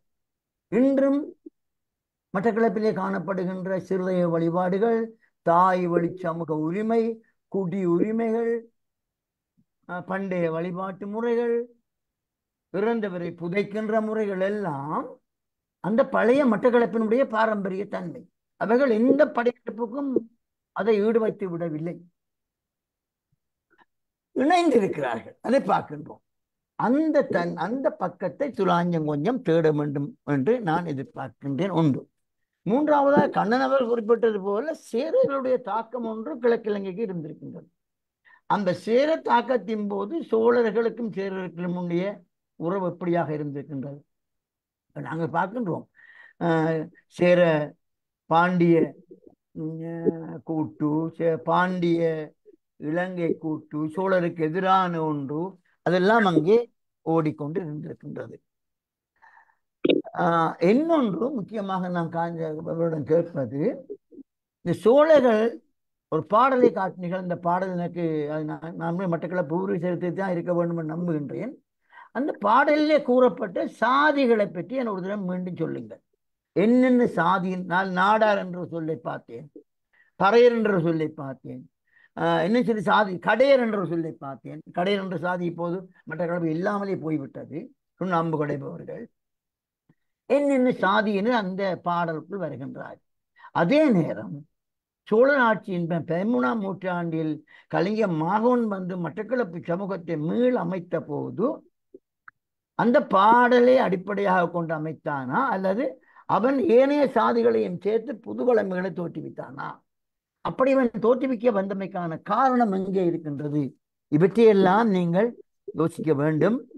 மகாவம்சம் மாத்திரமில்லை எங்களுடைய ஆதாரங்கள் சூழவம்சம் குலவம்சம் இருக்கின்றது. அதை விட மக்களுடைய பார்வையிலே சொல்லப்பட்ட மட்டக்களப்பு மான்மியம் மட்டக்களப்பு பூர்வ சரித்திரம் போன்றவை இருக்கின்றது. இதை விட மெமோரிஸ் அதாவது மட்டக்களப்பு பாய்மொழி கதைகள் இருக்கின்றன. இவற்றையெல்லாம் உள்வாங்கி கொண்டு சோழரை நீங்கள் பாருங்கள் என்று நான் அவருக்கு ஒரு ஆலோசனை கூறலாம். நன்றி துலாஞ்சன். உங்களுடைய பயணம் தொடரட்டும். பல்கலைக்கழகம் செய்யாத பல விஷயங்களை நீங்கள் செய்கிறீர்கள் என்பதுதான் எனக்கு மகிழ்ச்சி தருகின்றது. நன்றி சார். உண்மையிலே அற்புதமான கருத்துக்களை சொல்லியிருந்தீங்க. அது மாதிரி வளப்படுத்துற மாதிரி கருத்துக்களை சொன்னதுக்கு நன்றி. கிட்ட மூன்று கல்விக்கும் எனக்கு தெரிஞ்ச விதத்துல பதில் சொல்ல ஆசைப்படும். முதலாவது இங்க கிட்ட நீங்க இந்த சோழர்கள படையெடுப்பை இங்க உள்ளூர் சமூகங்கள் எப்படி மேம்படுத்துறேன்னு சொல்லி அதுல பார்க்க நேரத்துல ஒரு அண்மையில கண்டறிஞ்ச சுவாரஸ்யமான விடயம் கொண்டு இலங்கையில கரையோர வேடர்கள் கிட்ட அதாவது இலங்கையில இருக்க தமிழ் வேடர்கள் தமிழ் பேசுகின்ற வேடர்கள் மத்தியில பெரிய தெய்வம் எனப்படுகின்ற வழிபாடு காணப்படுது. இந்த பெரிய தெய்வத்துல வழிபாடு ஒரு நூறு வருஷத்துக்கு முந்தி கப்பல் பேய் சடங்கு என்ற பேர்ல இருந்திருக்குது. கப்பல்ல வந்து ஒரு பேய். அதை வந்து வேடர்கள் வழிபட்டு வந்திருக்கிறாங்க. இப்ப அதை வந்து இப்ப மேல்நிலையாக்கப்பட்டு அல்லது சமஸ்கிருதமயமாக்கப்பட்டு பெரிய தெய்வம் எனப்படும் தெய்வமா வழிபடப்படுது. குறிப்பாக வெறிகள் அதாவது திருகோணமலை மாவட்டத்தின் வடபகுதி அதே போல மட்டக்களப்பின் பால்சேனை போன்ற இடங்கள்ல வழிபடப்படுது. பெரிய தெய்வம் என்ற பெயர்ல அந்த பெரிய தெய்வத்துல பாட்டுக்கள் அவதானிச்சிடம் அதுல சொல்லப்பட்ட ஒரு விஷயம் அந்த பெரிய தெய்வத்தோ பெரிய தெய்வம் ஒரு ஆள் இல்ல நிறைய பேர் நிறைய பேர் வராங்க. அதுல சின்ன உலாந்தா பெரிய உலாந்தா பரங்கி நாச்சி போன்றவர்கள் வராங்க. இந்த அவங்களுக்கெல்லாம் தலைமையில் இருக்கிற ஒரு ஆள் வந்து பெரிய தெய்வம். அவர் வந்து சென்னப்பட்டினம் அங்கால இருந்து வந்தவர் என்ற ஒரு பாடல் ஒன்று காணப்படுது. அப்ப இந்த பாடல்கள் வழி நீங்க சொன்ன மாதிரி அஹ், அவங்க பொதுவாக அந்த பாட்டுல மூலம் அறிஞ்சு கொள்ளக்கூடியதா இருக்குன்னு சொன்னா கரியர் வெளியிலிருந்து வந்த புற சக்திகளை பொதுவாக ஆட்சிக்கு உட்பட தங்களுக்கு அதிகாரம் செலுத்த வந்த ஒல்லாந்தர் பரங்கியர் உட்பட சில சமூகங்களை ஒரு தெய்வ நிலைக்கு உயர்த்திருக்கிறாங்க அல்லது தெய்வ நிலைக்கு உயர்த்துறதுக்கான சந்தர்ப்பங்கள் ஏற்பட்டிருக்கலாம். இன்னொரு கதை ஒன்று இருக்குது வாகரி பிரதேசத்துல அங்கிருந்த ஒரு வன்னிச்சீரப்படுகின்ற ஒரு பெண் வந்து அங்க அஹ், ஒரு கப்பல் அஹ், கப்பல் கடை கப்பல் சேர்ந்ததன் காரணமாக கரையேறிய ஒரு வெள்ளையனோடு மனமுடித்து வாழ்ந்ததாகவும் அவன் சிறு சிறு நாட்களின் பின் அவளை விட்டு விட்டு ஓடி சென்று விட்டதாகவும் கதை ஒன்று இருக்குது. வாய்மொழி கதை ஒன்று இருக்குது. ஒரு பிரித்தானிய குறிப்பிலையும் காணப்படுது அப்படி கப்பல் கரை கரை சேர்வதற்கு முன்னரே சேர்ந்ததன் காரணமாக அல்லது வேறு காரணங்களால் தங்கள்கிட்ட வந்தவங்களை இவர்கள் அஞ்சி இருக்கலாம் அவங்க தொற்று நோய்களை கொண்டு வந்திருக்கலாம். அந்த காரணத்துக்காக அவங்க வழிபட்ட பாடல்கள் சில இப்படியான வழிபாடுகளை காணப்படுது. அப்படி அஹ், சோழர்களும் கூட அந்த காலத்துல சோழர்கள் மாம்சத்துல கூட ஒருபாடு சொல்லப்படுது. கோதாரி நோயால சிங்கள படை வீரர்கள் செத்தாங்க. இவங்களுக்கு சோழர்களுக்கு எதிராக படையெடுத்தவங்க என்ற குறிப்போடு காணப்படுது. இப்படி சில சுவையான விடயங்கள் இந்த மக்கள் வாய்வழியில் இருக்கிற சடங்கு பாடல்கள்ல நம்ம காணக்கூடியதா இருக்கும். நீங்க சொன்ன மாதிரி இன்னும் தேட வேணும். குறிப்பாக இந்த சலவை தொழிலாளர் சமூகத்துல காணப்படுகின்ற நீலா சோதையில் எனப்படுகின்ற தொன்மம் வந்து இலங்கை வரலாற்றோடு இணையுது. எங்கன்னு பார்த்தால் குலக்கோட்டன் அதே போல சிங்களத்துல கஜபாகுமன்னன் போன்றவர்கள் படையிலிருந்து ஒரு வீரன் தான் நீல ஜோதையன் என்று சொல்லப்படுகிறான். அவனை நீலா சோதையன் என்று சொல்லி சரவ தொழிலாளர் சமூகம் வழிபட்டு வருது. இவன் கூட சோழர்கள் கரிகால் சோழன் படையெடுத்ததுக்கு பதிலாக கஜபாகு மன்னன் தமிழகம் மீது படையெடுத்து பதினாலாயிரம் பன்னெண்டாயிரம் சிங்களர்களுக்கு சமனாக பன்னிரெண்டாயிரம் தமிழரை சேர்த்து இருபத்தி நாலாயிரம் பேரை மீண்டும் படித்து வந்தான் என்ற ஒரு கதை ஒன்று காணப்படுது. இப்படி சோழர்களோட உறவு சம்பந்தமா தான் போகுது தொன்மங்கள். இந்த தொன்மங்களை தொடர்ச்சியா ஆய்வு செய்யும் நேரத்துல கூட நமக்கு அவங்க எப்படி முகம் கொடுத்தாங்க அதை அவங்க வரவேற்றாங்களா அல்லது அஞ்சினாங்களா அல்லது சமூகத்தோட ஒன்றிணைச்சு கொண்டாங்களா அந்த விஷயங்களை அறிஞ்சு கொள்ளலாம் என்பது அஹ், தொடர்ச்சியான ஆய்வுகள் மூலம் தான் தெரியும் வரும். அந்த வழியை காட்டுனதுக்கு தங்களுக்கு நன்றி. இரண்டாவது இந்த இப்ப மட்டக்களப்பு பண்பாடுன்றது தொன்மையாத்தான் இருக்குது. இதுல சோழர்கள் வந்து போனாலும் கூட பெரிதாக மாற்றம் ஒன்றும் ஏற்பட்டிருக்கிறதா என்ற கேள்வியை கேட்டிருந்த நீங்க. ஆனால் எனக்கு தெரிந்த சோழர்கள் மாத்திரமல்ல பொதுவாக நமது இந்திய பண்பாடு சார்ந்த எல்லா சமூகங்கள்லையும் இருக்கிற ஒரு படையெடுப்பு பண்பாட்டு படையெடுப்பு வந்து கொஞ்சம் நெகிழ்வுத்தன்மை கொண்டது. பொதுவாக ஐரோப்பிய சமூகங்கள்ல காணப்படுகின்ற குறிப்பாக ஆப்பிரிக்க சமூகத்தின் மீது நிகழ்த்தப்பட்ட பண்பாட்டு படையெடுப்புன்றது அவங்கள பண்பாட்டை முற்றாக அழிச்சது. ஆனா இந்திய பண்பாடுகள் ஒன்றின் மீது ஒன்று மாறி. அது பௌத்தம் சைவத்தின் மீது எடுத்திருக்கலாம் சைவம் பௌத்தத்தின் மீது எடுத்திருக்கலாம் அல்ல தமிழர்கள் தெலுங்கர் மீது எடுத்திருக்கலாம் தெலுங்கர்கள் சிங்களர் மீது எடுத்திருக்கலாம். இப்படி வெவ்வேறு சமூகங்கள் சமயம் சார்ந்து மேற்கொண்ட எல்லா படையெடுப்புகளையும் காணக்கூடிய ஒரு விஷயம் என்னன்னு சொன்னால் ஒருங்கிணைப்பு அதாவது தங்களுடைய ஒன்றா இணைஞ்சு கொள்றது இப்ப இங்க ஒரு பத்தினி என்ற தெய்வம் வழிபடப்பட்டுக் கொண்டு கண்ணகி என்ற தெய்வம் அறிமுகப்படுத்தப்படுது என்று சொன்னால் பத்தையும் கண்ணையும் கொண்டு விடுறாங்க குமார தெய்வம் என்ற ஒரு இளைஞன் இங்க வழிபடப்படுற நேரத்துல முருகன் என்ற தெய்வம் அறிமுகப்படுத்தப்படுற நேரம் குமாரனும் முருகனும் ஒன்றாகிறாங்க. அப்ப தங்கட தங்கட பண்பாட்டை அவங்க திணிக்கிற அதே நேரத்துல இங்க இருக்கிற பண்பாட்டையும் அழிக்காமல் அதோட சேர்த்து இணைச்சு கொள்றாங்க அதோட முக்கியமான நம்ம பொதுவாக மட்டக்களப்பு பொதுவாக இந்திய பண்பாடுகள்ல காணக்கூடிய ஒரு விஷயம். ஆனா இது ஆப்பிரிக்க சமூகங்களை பொறுத்த வரைக்கும் ஐரோப்பிய சமூகம் நடத்தல. ஐரோப்பிய சமூகம் முற்றாக அழிச்சது ஒரு ஒரு பிரபலமான வசனமே இருக்குது. சார்ந்த ஒரு வசனம் உண்டு. இப்ப இங்கத்தை பண்பாடை பொறுத்த வரைக்கும் அந்த ஒரு சிறப்பியல் கொண்டு இருக்குது. முற்றாக அழிக்காமல் தனது கருத்து திணிச்சு ஆனால் அதை மேலே உங்களோட கீழே என்ற மாதிரி ஒரு- ஒரு ஒரு கட்டமைப்பு ஒன்று உருவாக்கி கொள்றது அந்த கட்டமைப்பு உருவாக்கப்பட்டதன் காரணமாகத்தான் இங்க சோழர்கள் ஆதிக்க மந்த நேரத்திலேயும் கூட பண்பாடு பாரம்பரிய பண்பாடு அப்படிங்கிற தொடர்புல இது தொடர்ச்சியாக தொடர்ச்சி அறவ அறுவடல என்று சொல்லி கருதுறேன். அது ஒரு விஷயம். இறுதியாக சாதியின் பேர்களை பத்தி கேட்டிருந்த நீங்க நான் போட்ட அந்த பாட்டு வந்து மட்டக்களப்பு பூர்வ சரித்திரத்துல புவனேச திருக்கோயில் கல்வெட்டு என்று சொல்லப்படுகின்ற பாட்டை வந்த ஒரு வரி இந்த பாட்டுற இந்த பாட்டுற வசனடை மட்டக்களப்பு பூர்வ சரித்திரம் வசனடையும் இருக்குது பாடவரியும் இருக்குது. வசனடையில பதினெட்டு சிறைக்குடிகள் கொண்டு வந்தாங்கன்ற வசனம் மட்டும் பாடப்படுது காணப்படுது. ஆனா இந்த பாடல்ல புவனேச திருக்கோயில் கல்வெட்டு எனப்படுகிற அந்த பாடல்ல பதினெட்டு குடியோட பேரும் சொல்லப்படுது. அஹ் காவலர் மாதுளர்கள் கோயிலார் குசவரும் நாசுவர் கொள்ளருடனே களவெட்டி கேணியன் சொல்வர் நாடா கனமறைய கடையர் கவினேன் ஏகாதி மடையனும் கவசி தில்லர் பதினெட்டும் கண்டகுடி இருபத்தி வரைக்கும் காவலர் உரிமை என்ற வசனம் ஒன்று வருது பதினெட்டு சாதியாக்களுக்கும் வந்து காராளர் பதினெட்டு சாதியும் கண்டகுடி எனப்படுகின்ற ஒரு ஒரு சமூகத்தின் கீழே அடிமைப்படுத்த வேண்டும் என்று சொல்லப்படுது. இந்த பதினெட்டு குடிக்கு மேலதிகமாக ஆறு சமூகங்கள் சொல்லப்படுது. வன்னிய கடையாட்சி மறையோர் முதன்மை இப்படி சொல்லி வேறு சமூகங்கள் சொல்லப்படுது. இந்த இருபத்தி நான்கு வரைக்கும் அப்போதைய மட்டக்களப்பை ஆண்ட மன்னனாகிய பூனேய கஜபாகும் இந்த ஆணையை விழுத்தான் என்றுதான் இந்த சமூகங்கள் இப்ப எல்லா சமூகங்களும் இல்ல. திருக்கோயில் இல்ல மட்டக்களப்பிலே சமூகங்கள் இப்ப இல்ல. குறைந்த அளவான சாதிகள் தான் காணப்படுது. இது அந்த காலத்துல எழுதப்பட்ட சமூகம் ஒரு தரவா இருக்கலாம். அந்த நேரத்துல பதினெட்டு சிறை குடிகளும் ஏனைய சமூகங்களும் சேர்ந்து இங்கு குடியேறின தகவலோடு காணப்படுது. நாட்டிய பெண்கள் குடியேறினாங்க தகவல் காணப்படுது. இந்த சுவாரஸ்யமான விஷயம் என்று சொன்னால் இந்த பாடல்கள் இருக்கிற விஷயங்கள் வசன நடையில இல்ல. மற்ற புரிசத்துல வசன நடையில இந்த பாடல் பற்றிகள் இல்ல. இது கொஞ்சம் சுவாரஸ்யமான விஷயமா இருந்தது. ஆகவே இதுல நினைச்சு நன்றி. அடுத்தது சுலாஞ்சன் எனக்கு ஒரு தரம் இந்த என்னுடைய மட்டக்களப்பினுடைய லைப்ரரி இருக்கிறபடியா இங்க எனக்கு ரெஃபரன்ஸுக்கு டக்குன்னு ஒன்றும் கிடைக்குது இல்லை தயவுசெய்து இந்த பாடலை இந்த புவனேக அந்த கல்வெட்டு பாடலையும் எனக்கு ஒருத்தன் தயவு செய்து உடனே இன்னைக்கு இமெயில் பண்ணி விடுங்க எனக்கு வாட்ஸ்அப்ல போட்டு விடுங்க. எனக்கு அது ரொம்ப உதவியா இருக்கு. மேலும் யோசிக்கிறதுக்கு. தேங்க்யூ நன்றி. வணக்கம் ஐயா. வணக்கம். ரொம்ப மகிழ்ச்சி உங்களுடைய மொழியை கேட்பதற்கு தாமதமா வந்ததுக்கு கொடுத்ததுக்கு. ஓ அந்த கண்ணனுடைய அறிமுகத்தை பற்றி பிரமாதமா சொன்னாங்க. நான் அதுக்கு வர முடியாம போயிட்டு நான் பிறகு துராஞ்சன் பேச ஆரம்பிக்க தான் மன்னிக்க வேண்டும். நீங்க பேஸ்புக்ல கேட்டுக்கலாம் ஐயா. முகநூல்ல நீங்க கேட்டுக்கலாம் கொஞ்ச நேரத்துல. சரி ரைட்டா பாக்குறேன் நான் எல்லாம் பாக்குறேன் தேங்க்யூ ரவாணி தேங்க்யூ அடுத்த வாரம் நேர பார்க்க போறோம். கண்ணன் வர்றீங்களே என்ன? நிச்சயம் நிச்சயம். உங்களை பார்க்கறது அதுல ஒரு முக்கியமான நிகழ்வு. சந்திப்போம். வாங்க மட்டக்கிழப்புக்கு உங்களை உங்களை அறியறதுக்கு நிறைய விஷயங்கள் மட்டக்கிழப்புல காத்திருக்குது. வாங்க. ஆமாம் நிச்சயம் ஆர்வத்தோட இருக்கேன். நன்றி. ஐயா வணக்கம். ஆ சொல்லுங்க மேம். நீங்க உங்க முகத்தை காட்டுங்க இல்லைன்னா அதான் பேசுறேங்கம்மா நன்றி. இந்த நிகழ்வை ஒருங்கிணைத்ததுக்கு நன்றி. அனைத்து உள்ளங்களுக்கும் நன்றி. எனக்கு ஒரே ஒரு வினா. நான் தாமதமாக தான் வந்தேன். உங்களுடைய செய்திகளை கருத்துக்களை என்னால கேட்க இயலவில்லை. என்ன அப்படின்னா சோழர்களுடைய காலகட்டத்துல பெண்களுக்கு என்ன மாதிரியான மதிப்பீடுகள் இருந்தது? அவங்களுக்கு கல்வி நிலையில எப்படியான ஒரு பார்வை இருந்தது? சோழர்களுக்கு மத்தியில. ஒண்ணு. ரெண்டாவது நாட்டுப்புற இலக்கியம் அந்த காலத்துல சோழர்களுடைய காலகட்டத்துல இருந்ததா? இல்ல உம் அதனுடைய வித்து கொஞ்சமா இருந்ததா? இலங்கை என்று குறிப்பா சொல்ல விரும்புறேன்.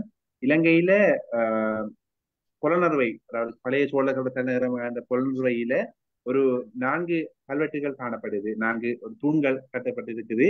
அது நாட்டிய மண்டபமா இருக்கலாம் அல்லது ஒரு நீதி சொல்ற மண்டபமா இருக்கலாம்னு சொல்றாங்க. அதுல ஒரு ஒரு தூண்ல இருக்கிற கல்வெட்டு வசனம் ஸ்ரீ முகரி நாடாழ்வான் மகள் கற்பகம் என்ற பேர் காணப்படுது. ஸ்ரீ முகரி நாடாழ்வான் மகள் கற்பகம். இந்த ஏனைய மூன்று தூணையும் பொறிச்சவங்க வந்து ஆண்கள். இந்த தூணை மட்டும் பொறிச்சவர் பெண். இது இலங்கையில புலவரில் இருக்கிறது.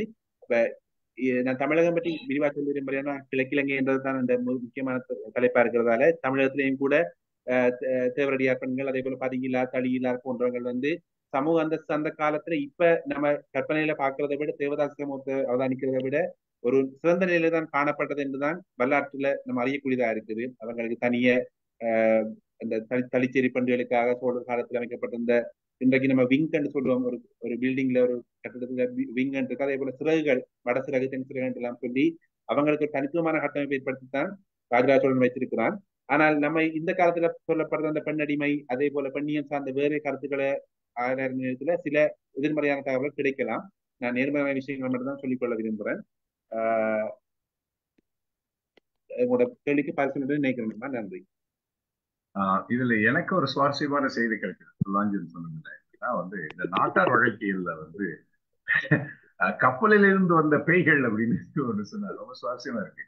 அதாவது வந்து உலாந்தர்கள் வந்து நெதர்லாண்ட்ஸ் மக்கள் அந்த டச் மக்கள் வந்தது ஆங்கிலேயர் வந்தது. இவர்களை பேய்கள் அப்படின்னு சொல்றதுக்கு அதே நேரத்தில் ஒரு மரியாதை ஒரு பயம் கலந்த ஒன்று அதனால அவர்களை வந்து ஆஹ், ஒரு நாட்டார் வழக்கில் இருக்கக்கூடிய சிறு தெய்வங்களாக மாற்றக்கூடிய ஒன்று. இன்னொரு ஒரு நாச்சியார்னு ஒண்ணு சொன்னாங்க. அது சுவாரஸ்யமா இருக்காரு. என்ன நாச்சியார்னு தெரியல. பரங்கி. பரங்கி நாச்சியார். பரங்கி இது ரொம்ப ரொம்ப ஆச்சரியமான செய்தி இது. பரங்கி அப்படின்னா பரங்கி தலைங்கிறது வந்து ஆங்கிலேயர்களை தான் சொல்லுவோம். அப்ப ஆங்கிலேயர்களை இன்டகிரேட் பண்றதுல பரங்கி நாச்சியார்ன்றது ரொம்ப அதிசயமான செய்தி இது. ஏன்னா ராமானுஜர் வாழ்ந்த காலத்துல முகமதியர்களுடைய தாக்கம் ரொம்ப அதிகமா இருக்கு அப்ப இந்த முகமதியர்களை உள்வாங்கி கொள்றதுக்காக வந்து அவர் என்ன பண்றாரு அப்படின்னா வந்து அந்த பெண்ணை ஒரு முகமதிய பெண்ணை ஆஷா என்று சொல்லக்கூடிய அந்த முகமதிய பெண்ணை வந்து நாச்சியாராக மாத்துறாரு துலுக்க நாச்சியார். துலுக்கர்னா துருக்கர்கள். சோ அந்த துருக்க நாச்சியார் அப்படி என்று சொல்லக்கூடிய அந்த ஒரு ஒரு பான்மை அங்க இருந்திருக்கிறது. அதாவது வந்து ஒரு காலகட்டத்துல வந்து ராமானுஜருக்கு பின் வந்த காலகட்டத்தில் வந்து இந்த இஸ்லாம் என்பது ஒரு ஸ்ரீரங்கத்துல ஐக்கியமாகுது. அப்போ வந்து பெருமாள் என்ன பண்றாரு? வந்து லுங்கி கட்டிக்கிட்டு வந்து ரொட்டி சாப்பிடுறாரு. துலுக்க நாச்சியார் வீட்டுக்கு போயிட்டு வர்றாரு. இப்ப கூட அழகர் திருவிழா நடக்கிற பொழுது அழகர் கள்ளழகர் வந்து துலுக்க நாச்சியார் வீட்டுக்கு போயிட்டு வர்றாரு. ஸோ இது ஒரு வகையான இன்டகிரேஷன் இஸ்லாமியும் வைணவத்தையும் இன்டகிரேட் பண்ணக்கூடிய ஒரு சமாச்சாரம். அது ரொம்ப அழகா அவர் சொன்னார். வந்து அந்த வெஸ்டர்ன் இதுக்கும் நம்ம ஈஸ்டர்ன் இங்கே இந்தியாவில் நடக்கக்கூடியது அதை வந்து ஜோசப் கேம்பல் என்ற அந்த அமெரிக்க தத்துவ இயலர் வந்து ரொம்ப அழகாக சொல்லுவார். அதாவது இங்க நடக்கிறது என்னது அப்படின்னா வந்து ஒன்றை ஒன்று அழிக்கிறது இல்லை ஆனா அதுக்கு மேல இன்டகிரேட் பண்ணிடும் அதோட சேர்ந்து மெர்ஜ் ஆயிடும். இப்ப அதனால்தான் வந்து நம்ம ஆதிசங்கரருடைய குருவுக்கு குரு வந்து மகா குரு வந்து ஒரு பௌத்தர். அங்கிருந்து தான் இவர் இந்த அத்வைதம் என்ற அந்த தத்துவத்தை எடுக்கிறார். அது பௌத்தர்ல இருந்து வந்து தத்துவம். அது பாரதி கூட அவர் எழுதும் பொழுது பிரசன்ன பௌத்தர் அப்படின்னு சொல்லி கேள்வி பண்ணுவார் வந்து ஆதிசங்கரர். ஏன்னா ஆதிசங்கரர் வந்து ஒரு பௌத்த துறவி வந்து ஒரு மறைமுகமாக இந்து துறவி மாதிரி இருக்கார் அப்படிங்கிற ஒரு வழக்கு வந்து இருந்திருக்கு அந்த காலத்துல. ஆக இதெல்லாம் நீங்க யோசிச்சு பாத்தீங்கன்னா ஒரு தத்துவத்தை எடுத்து இன்னொரு தத்துவத்தோட கலப்பு செய்து புதிய தத்துவங்களை ஆஹ், போன்ற இந்த வழக்கு வந்து இதை நாம் வந்து இந்தியாவில் மட்டுமே காணக்கூடிய ஒன்றாக இருக்குது ஆஹ், இந்த பரங்கி நாச்சியார் என்ற செய்தி எனக்கு ரொம்ப ரொம்ப மகிழ்ச்சி தரக்கூடிய ஒரு செய்தியாக இருக்குது. நன்றி சொல்லாங்க நன்றி. பொதுவா மட்டக்களப்பே நாச்சியார் என்று சொல்ற பதம் கூட சின்ன பிள்ளைகளுக்கு கொஞ்ச நேரம் கூட என்ன நாச்சியார்ன்றதான் கேட்பாங்க. நாச்சியார்ன்றது இங்க வழக்கமா சொல்லப்படுறது. நாச்சிய நாச்சிமார் என்ற ஒரு இன்னொரு கிராமிய தெய்வம் கூட யாழ்ப்பாண பகுதியில வழக்கத்துல இருக்குது. இந்த நாச்சிமார் இப்ப மேல்நிலையாக்கம் அடைந்து கொண்டிருக்கிறாங்க. இப்ப சப்தமாதர் அப்படி சொல்லி வழிபட்டு கொண்டிருப்பாங்க. நாச்சி நாச்சிமார்ன்றது பொதுவாக தமிழ்ல நாய் நாயகன் நாச்சி என்ற மாதிரி அந்த நாயகனுக்கான பெண்பால். நாச்சி என்பது வேறுங்களை பல பரவலாக சொல்லப்பட்டிருக்குது. அந்த இந்த வேர்டு குறிப்பாக கரையோர வேர்டுகளை வழிபடுற இன்னொரு தெய்வத்தோட மீனாட்சிமார் நான் அதை மீனாட்சி என்று புரிஞ்சு கொண்டேன். அந்த நிலத்துல எனக்கு தகவல் சொன்னவர் சொன்னார். மீனாட்சி அம்மன் வேற மீனாட்சிமார் வேற. அவர் சொல்றது மீன் நாச்சிமார் அதாவது அப்புறம் கடல் கப்பல் தெய்வத்தோட சேர்ந்து தான் இதையும் கும்பிடுறாங்க. ஆஹ் இருக்கிற மீன்களை மீன்களாலான மீனாட்சிமார் அது சொல்றாங்க. அந்த மீனாட்சிமார் வேற மீனாட்சி அம்மன் வேற என்று தகவலை குறிப்பிட்டார். நிறைய சுவாரஸ்யமா இருந்தது வியப்பாகவும் இருந்தது. அப்படி அஹ் நிறைய விடயங்கள் தெய்வ உருவப்படுத்தப்பட்டு நாச்சியாராக வழிபடுகின்ற வழக்கத்தை அஹ் எல்லா நாட்டார் வழிபாடுகளையும் கண்டு கொள்ளலாம். இது மிக சுவாரஸ்யமா இருந்தது எனக்கும். ஆமா அதுல மீனாட்சியினுடைய வர வந்து மீன் கண்கள் அந்த அக்ஷய் அப்படிங்கறது அப்படிங்கிறது வந்து அது கண்ணுன்னு வராது அதுல மீன்கள் போன்ற கண்ணுடையவள் தான் அது. நீங்க சொல்றது ரொம்ப புதிய செய்தி. மீன் நாட்சியார் அப்படிங்கிறது வந்து இது வேற ஒரு ரூட்ஸ் வேற சொல்லாட்சி மீன் நாட்சியார் ஆனா அருமை நான் எழுது ஆயிரத்தி தொள்ளாயிரத்தி எழுபதுகளில் எண்பதுகளில் இந்த வேடர்களுக்குள்ள போய் ஆராய்ந்த போது அவர்களிடம் இந்த கப்பல் பேய் சடங்கு இருந்ததை கண் கப்பல் பேய் என்ற சொற்பதம் இருந்ததோடு இன்னொரு சொல்லையும் அவர்கள் பாவித்தார்கள். இப்போது பாவிப்பார்கள் தெரியாது. இப்போ நான் இப்போ ஐம்பது வருஷம் அறுபது எழுபது எண்பது வருஷமா போயிட்டு கடல் பகுதி என்ற ஒரு தெய்வம் அவங்கள்ட்ட இருக்கு. கடல் பகுதி என்று சொல்றாங்க. இப்ப கடல் பகுதி என்று சொன்னா கடல்ல வந்து எல்லாரையுமே அவர்கள் கடல் பகுதி தெய்வங்களாக மாற்றி இருக்கிறார்களோ பயன்தானே. கடல்ல வந்து வாள் எடுத்துக்கொண்டு வந்து வெட்டினவங்கள் துப்பாக்கி எடுத்துக்கொண்டு சுட்டவங்கள் அழித்தவர்கள் எல்லாம் தெய்வங்களாக்கப்பட்டிருக்கிறார்கள் போல் தெரிகிறது. ஆனால் அந்த கடைசி வரைக்கும் அந்த போரை நடத்தியவர்கள் எனக்கு அந்த பூர்வீக குடிகளான வேடரக போலதான் தெரிகிறது. அந்த மன்னிக்க வேண்டும். பேராசிரியர் கூறியதோடு இணைத்ததாக ஒரு தகவல். இதே வேடர்கள் அல்ல துலாஞ்சனன் கவனிக்க வேண்டும். மீனவர்கள் மெட்டக்களப்பு பாரம்பரிய மீனவர்களை நான் ஒரு சிறிய ஆய்வுக்கு உட்படுத்திய வேளையில் அஹ், படுவான்கரை அஹ், பாலமீன் மடுவில் வைத்து ஒரு மீனவர் சொன்ன தகவல் அதை நான் பல இடங்களிலும் சந்தித்தேன். என்னுடைய பிறந்த மண்ணாகிய முருகட்டாட்சியிடம் கூட. அந்த கரையார் என்ற ஒரு சாதி எங்களிடையே இருக்கிறது. அவர்கள் அஹ், அதிக அளவு மீன்கள் தங்களுடைய வலையை படுவதற்காக அல்லது மீன் வளத்தை பெருக்கும் பொருட்டு கரையாக்கன் என்ற ஒரு தெய்வத்தை வழிபட்டு வந்திருக்கிறார்கள் என்பது ஒரு சுவாரஸ்யமான தகவல். நன்றி. ஆம் சார் சொன்ன அந்த கடற்பகுதி என்ற தெய்வத்துக்கு நீலி என்ற பேரும் சொல்லுவாங்க. That's right, that's right. நீலி. மாநீலி குடாநீலி மாநீலி குடாநீலி. குடாநீலி பாருங்க பேரு. குடாநீலி மாநீலி. நீலி நீலி. என்ற ஆ நீலி என்ற சொல்லுங்கள்ட்ட தமிழ் இலக்கியங்கள்ல இருக்கு. நீலி வணக்கம் நீலி. ஆமா. எல்லாம் இருக்குத்தானே இருக்கு நீலியா பாக்குறாங்கன்றதே ஒரு பெரிய ஒரு அது அணங்கு தானே அது? நீங்க வாங்க கண்ணன் மட்டக்களப்புக்குள்ள நீங்கள் அங்க பிரமிக்கத்தக்க செய்திகள் எல்லாம் காத்து கொண்டிருக்க கூட. ஆச்சரியமா இருக்கு ஐயா. வந்து உண்மையிலேயே வந்து நீங்கள் நீங்கள் எடுத்து கொடுக்கறது அதை வழி நடத்துறது இதெல்லாம் எனக்கு ரொம்ப அப்படி மகிழ்ச்சியா இருக்கு. அப்படி என்ன என்ன அழகா வந்து நீங்க ஆய்வுகளை எடுத்து சொல்றீங்க. அதே போல. சுராஜன் போன்ற இளைய ஆய்வாளர்கள் நீங்க எடுத்து கொடுக்கக்கூடிய செய்திகள்லாம் வந்து ரொம்ப புதுமையா இருக்கு. புதுமையா இருக்கு. ஆச்சரியமா இருக்கு. தமிழகத்தினுடைய உண்மையில தொன்மையை வந்து நாங்க மட்டக்களப்புல வந்துதான் தெரிஞ்சுக்க போறோமோ தோணுது. அப்ப இறைவி என்ன மன்னிங்க நான் இன்னொரு அலுவலுக்கு போக வேண்டியிருக்கு. நான் அப்புறம் உங்களுக்கு கால் பண்றேன். விட்டு விட்டு கேக்குதியா? நான் இன்னொரு தடவை உங்களுக்கு கால் பண்றேன் நான். I will call you back okay நன்றி. ஆமா. நன்றி நன்றி. ஆஹ், நன்றி. சரிங்கய்யா. ஆமா. இல்ல அவர் வந்து அவசரமாக வேற ஒண்ணுக்கு போறாங்க இறைவாணி. அவங்க சொன்னது செய்தி என்னன்னா நான் வேற ஒண்ணு போயிட்டு இருக்கு உங்களை கூப்பிடுறேன் அப்படின்னு சொல்லி ஆமா. ஆ புரிஞ்சுட்டேன் புரிஞ்சுட்டியா ஒரு மாதிரி கேட்டுச்சா.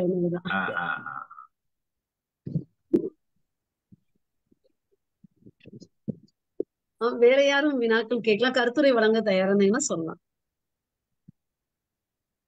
இந்த நிகழ்ச்சி ஒரு ஆய்வுரை தொடர்ந்துகிட்டே இருக்கியா? அது சொல்ல ஆராய்ச்சி தொடர் ஆராய்ச்சி வரலாற்று ஆராய்ச்சின்ற விதத்துல போய்கிட்டே இருக்குது. ஆமா. ஆ, வேற யாரும் கருத்து சொல்ல விரும்புறீங்களா? ஆ, சிவேலங்க ஐயா நீங்க? அம்மா வணக்கம். இது போன்ற நிகழ்வுகள் இனிமேல் நடந்ததுன்னா எனக்கு கொஞ்சம் அனுப்புங்க. நீங்க குழுல இருக்கீங்களாமா நீங்க நிறைய இருக்கு நீங்க வேற இளைஞர்கள். இல்லைங்கம்மா இல்லைங்கம்மா. நான் தமிழகம் குறிப்பா திருச்சி. கல்வியில உதவி பேராசிரியரா இருக்கேன் தமிழாய்வுத்துறை. எனக்கு இது போன்ற நிகழ்வுகள் அதுவும் குறிப்பா இலங்கை இந்த இது போன்ற செய்திகளை அல்லது அது. தொடர்போட அஹ், பேசுவது எனக்கு ரொம்ப பிடிக்கும். அந்த மொழியை எனக்கு ரொம்ப பிடிக்கும். தயவு செய்து அஹ், அந்த புலனக்குழுவுல என்னை இணைக்கும்படி உங்களை கேட்டுக்கொள்றேன். உங்க பேரு மத்தத விவரங்களை போடுங்க மேம் இப்ப. நான் இப்போ அந்த சாட்ல போட்டிருக்கேன் பாருங்களேன். என்னுடைய பெயர் போட்டு ஊர் போட்டு எண் கூட போட்டிருக்கேன். மறக்காம கொஞ்சம் நீங்க அதுல ஆட் பண்ணி விடுங்க. ஆ சரி மேம் நான் சொல்லிடுறேன். முனைவர் தமிழ்ச்செல்வி நம்மளுடைய அந்த கருத்தரங்குக்கு வரலாறு மட்டக்களப்புல நாங்க ஆகஸ்ட்ல நடத்துற இரண்டு மூன்றாம் தேதி கருத்தரங்குக்கு வாங்க. சிறப்பா இருக்கும். தலைப்பு என்னங்க? தலைப்பு. அது அது மட்டக்களப்பு தொடர்பான தலைப்புகள் தான். அது மட்டக்களப்பினுடைய ஆஹ், சரித்திரம் அது அதனுடைய கலை இலக்கியம் அந்த மாதிரி தான் சேர்ந்து வருது ஆஹ், நான் இறைவாணி உங்களுக்கு வந்து அதை அதை பற்றிய முழு விவரங்கள் அனுப்ப சொல்றேன். சரிங்க சரிங்க. மேம் நீங்க சாட்ல இப்ப எதுவுமே போடலையே மேம் நம்ம சாட் பாக்ஸ்ல இங்க போட்டிருக்கீங்களா? அப்படியா? இல்லையே. சாட்ல ஒரு நியூஸ் இல்லையே அதுல. ஒரு ஒரு சாட்ல ஒண்ணுமே இல்ல இருக்கு நம்பர் இருக்கு மேடம் நான் காப்பி பண்ணிருக்கேன் நான் ஆட் பண்ணிடுறேன். காப்பி பண்ணிட்டீங்களா? சரி வரும். நீங்க வச்சுட்டு எனக்கு அனுப்புங்க. நம்ம மேம்கிட்ட சொல்லிட்டு வரலாற்று குழுல சேர்த்து விட்டுருவோம் நம்ம. கண்- கண்ணனையா கண்டிப்பா ஆஹ் நிச்சயம் நிச்சயம் நிச்சயம். நிச்சயம். அவங்க அட்மின் யாருன்னு கேட்டு அவங்க மூலமா நம்ம சேர்த்து விட்டலாம் தமிழ்ச்செல்வி மேம் ஆமா ஆமா. இலங்கை தொடர்பான நிகழ்ச்சிகள் நாங்க நிறைய செஞ்சுட்டு இருக்கோம். அதனால அவங்களுக்கு ஆர்வம் இருக்கும் நினைக்கிறேன். அதனால அவங்கள வரலாற்று குழுல சேர்த்து விட்டுருவோம். நம்ம சேர்த்துட்டு அதுக்கப்புறம் அவங்கள தொடர்ந்து நம்ம நிகழ்ச்சி எல்லாத்துலயும் கலந்துக்க சொல்லுவோம். அதே நேரத்துல முகநூல்ல வந்து கட்டாயம் தமிழ் மரபு அறக்கட்டளை முகநூல்லையும் சரி அடுத்து சுபாஷினி மேமோட முகநூல்லையும் சரி இந்த செய்திகள் தொடர்ந்து வரும். கண்ணன் ஐயாவுமே இந்த மாதிரி செய்திகளை அப்பப்போ அவங்களுடைய முகநூல்ல பதிவு செஞ்சுக்கிட்டே இருப்பாங்க. அதனால இது வந்து ஒரு சிறு குறிப்பிட்ட வட்டத்துக்குள்ள இல்லாம விரிந்த பரப்புல செயல்படக்கூடிய ஒரு செயல்பாடு. நல்லது நல்லது. வாழ்த்துக்கள். தொடர்ந்து செயல்படுங்க. நான் முகநூல்ல நட்பு கோர்றேங்க. எனக்கு எனக்கு என்னன்னா பாட்டரசர் கி பாரதிதாசன் பிரான்ஸ்ல இருக்காரு. வந்து கோகிலா அம்மா அவங்க இலங்கைக்காரவங்க. அடுத்து வந்து நெய்தல் நாடன் அவர் இலங்கை தான். ஆனாலும் பிரான்ஸ்ல இருக்காங்க. அவங்க மூலமா தான் நான் யாரு? பாட்டரசர் கி. பாரதிதாசன் ஐயா மூலமா தான் மரபு கற்றுக்கொண்டு நூல். எழுதக்கூடிய அளவிற்கு கொஞ்சமா நான் வந்துகிட்டே இருக்கேன்னு வச்சுக்கோங்களேன். எனக்கு அது மாதிரி உங்களுடைய நட்பு எல்லாம் கிடைச்சதுன்னா இன்னும் எனக்கு என்னை நெறிப்படுத்துங்க. ஏன்னா ஒரு ஒரு ஒரு ஒரு பெண் வந்து ஒரு மனுஷி தன்னுடைய மரணம் வரைக்கும் தொடர்ந்து கற்றுக்கொண்டே இருந்தா மட்டும்தான் சிறப்பா இருக்க முடியும்னு நினைக்கிறேன். சிறப்பா தொடர்ந்து நீங்க எங்களோட கலந்துரையாடுங்க மேம் உங்களுக்கு நீங்களே ஒரு புதிய வழியை கண்டுபிடிக்கலாம்னு நினைக்கிறேன். நாங்க நெறிப்படுத்துறது இல்ல. நீங்களே ஒரு புது வழி கண்டுபிடிப்பீங்கன்னு நினைக்கிறேன். ஆமா ஆமா ஆஹ் இறைவாணி நீங்கள் வந்து அவர்களுக்கு நம்ம இதுக்கு முன்னாடி நடத்த இலங்கை தொடர்பான அந்த கருத்தரங்க இல்லாத வந்து அந்த அந்த. தொடுப்பு எல்லாம் இருக்கியா? தொடுப்பு கொடுத்துட்டீங்கன்னா. அவங்களுக்கு வந்து ஒரு ஒரு நல்ல பின்புலம் கிடைக்கும். மன்னிக்க. வேண்டும். கண்ணனையா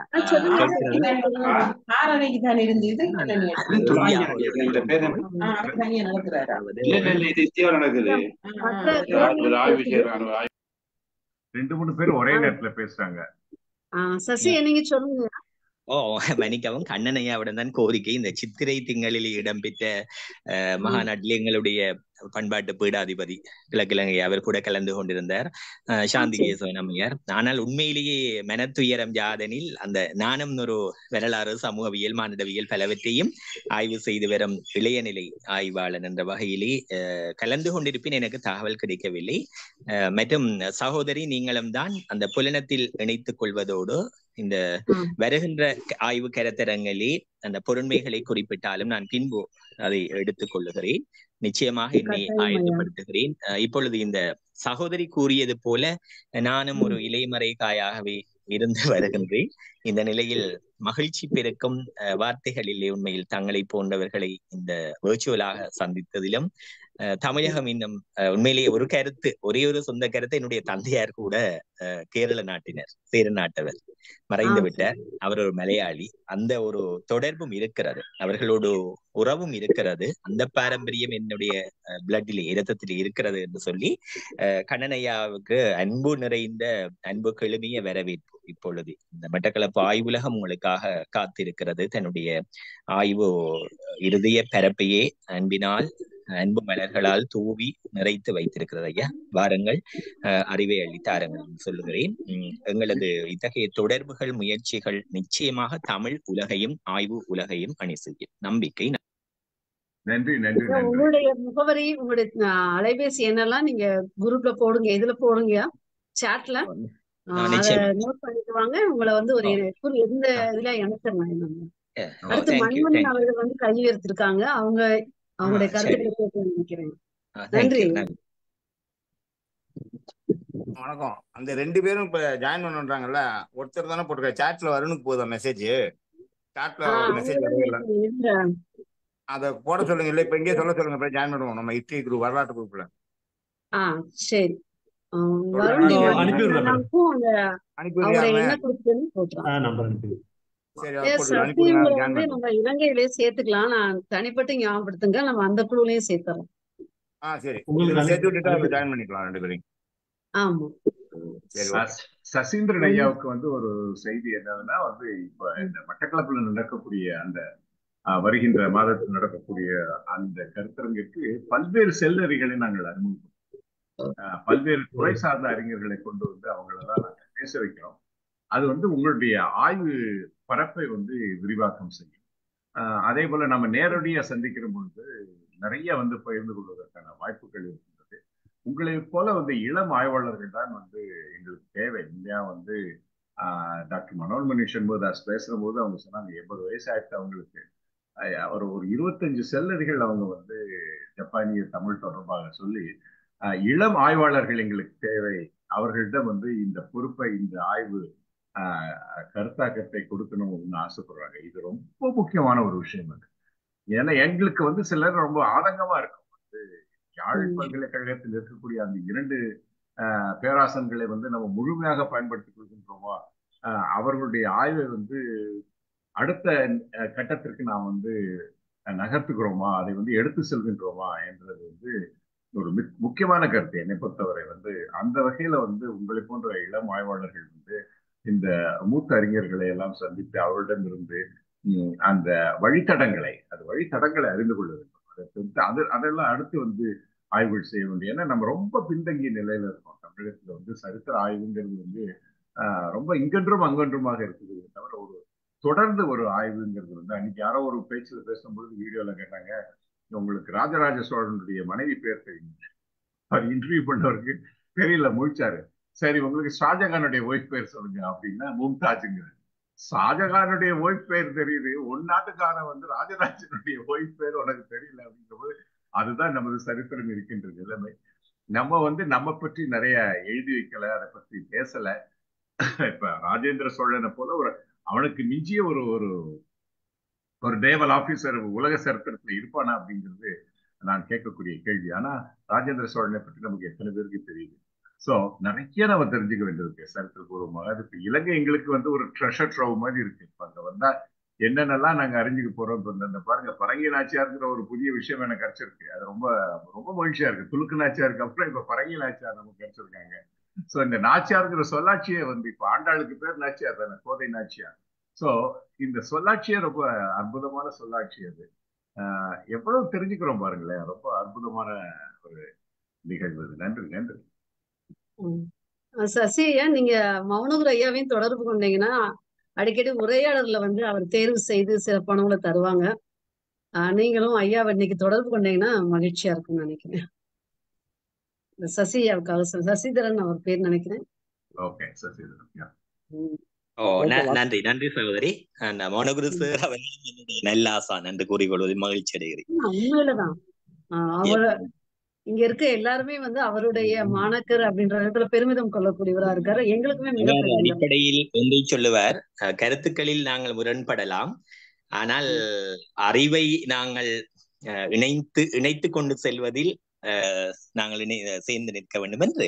இன்னொரு செய்தி அவருடைய துணைவிய நான் நினைக்கிறேன் கண்ணனையா நன்கு அறிந்து வைத்திருப்பார். இணையர் இணையர் என்றே பேசுவார்கள் தமிழகத்திலும்.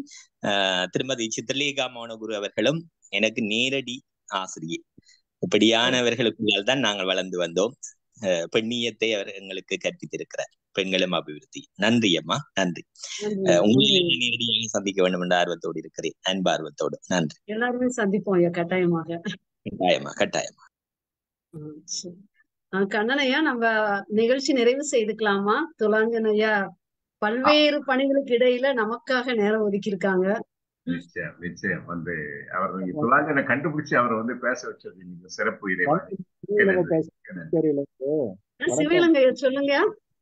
வணக்கம். புதுச்சேரியில இருந்து ஆமாய்யா. நல்ல அருமையான ஒரு உரை துலாஞ்சனன் அவர்களுடைய உரை கேட்டு கிழக்கிழங்கையை பற்றி ஒரு நல்ல ஒரு இது பிக்சரை கொடுத்தாரு. நல்ல ஆய்வு. நிறைய செய்திகள். ஏற்கனவே சிலதுதான் கேள்விப்பட்டது. மீதி எல்லாம் நிறைய சொன்னார்கள். அது தொடர்ந்து கண்ணன் சார் வந்து நான் ஒன்றும் கேள்வி கேட்கலைங்க ஐயா தொலாஞ்சனன் ஐயா. என்னுடைய கருத்து மட்டும்தான் சொல்லி முடிச்சுக்கிறேன்.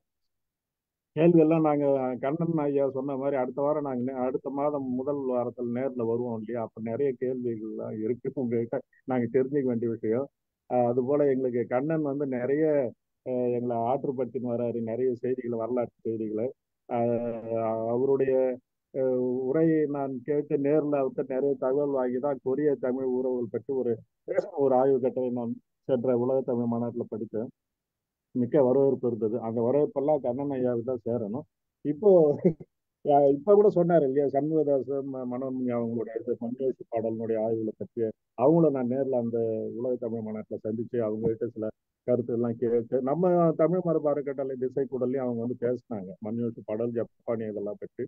அதை பற்றி ஒரு ஆ- ஆய்வு கூட நான் இப்போ அண்மையில் இப்போ நடக்க இருக்கிற கனடா தொல்காப்பியர் மாநாட்டுக்கு அதை தான் எழுதியிருக்கிறேன். அகத்திணை மரபில் அமைந்த ஜப்பான் காதல் பாடல்கள் அப்படின்னு சொல்லிட்டு.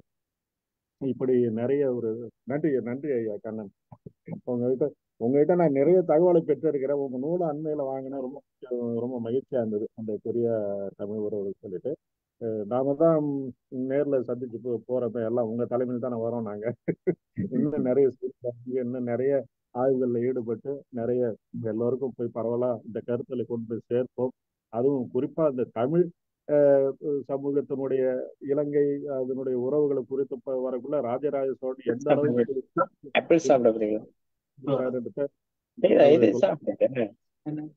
சொன்னாரு நிறைய சொன்னாரு. அந்த நூற்றி ஐம்பது காலம் ஆண்டு காலம் இந்த சோழர்களுடைய அந்த அந்த செலுத்த ஆட்சியினுடைய செலுத்த பண்பாட்டு தாக்கம் இதெல்லாம் இன்னும் கூட நீடித்திருக்கிறது என்றெல்லாம் இருக்கத்தான் செய்யும்.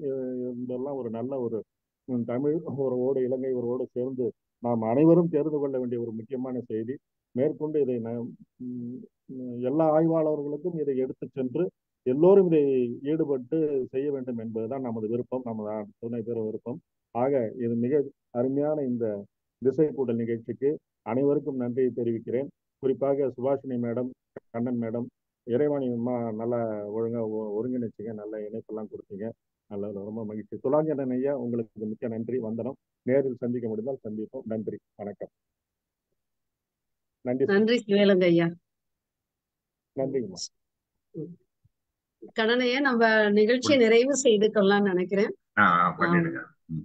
ஆமாங்க நன்றி கூறும் நேரம் இது.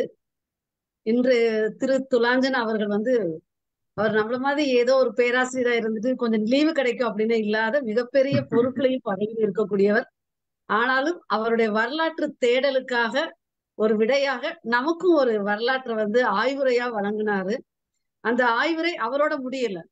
அந்த ஆய்வுரை தொடர்கதையாக தொடர்ந்து எல்லாரும் ஆய்வு செய்யணும். இன்னும் பண்ணா நல்லா இருக்கும். எப்படி பண்ணலாம்? எதை அடிப்படையா வச்சுக்கலான்ற ஒரு தேடலுக்கு வித்திட்டவர் இன்றைய சிறப்பு விருந்தினர் துலாஞ்சன் அவர்களுக்கு நன்றி. அதை தொடர்ந்து சிறப்புரையார் மட்டுமல்ல சிறப்பாக பங்கேற்ற அனைத்து அறிஞர் பெருமக்களும் அவர்கள் ஒரு புதுமையான ஆய்வுக்கு வித்திட்டதும் தாம் ஆய்வுலகில் கண்டவற்றையும் பதிவு செய்ததும் மிகச் சிறப்பு. ஆகவே மிகப்பெரிய ஆய்வுலகமும் அறிவுலகமும் சந்தித்த ஒரு கூடலாக இந்த திசைக்கூடல் அமைந்திருக்கின்றது என்று நினைக்கின்றேன். பங்கேற்ற அனைவருக்கும் நன்றி. மீண்டும் அனைவரும் கலந்து கொள்ள அடிக்கடி முகநூலையும் பாருங்கள். மற்ற இணைய பதிவுகளையும் பார்த்தால் தொடர்ந்து நம் பயணம் செயல்பட்டு கொண்டே இருப்போம். தொடர்ந்து பயணிப்போம். அனைவருக்கும் மீண்டும் சிரம் தாழ்ந்த நன்றி.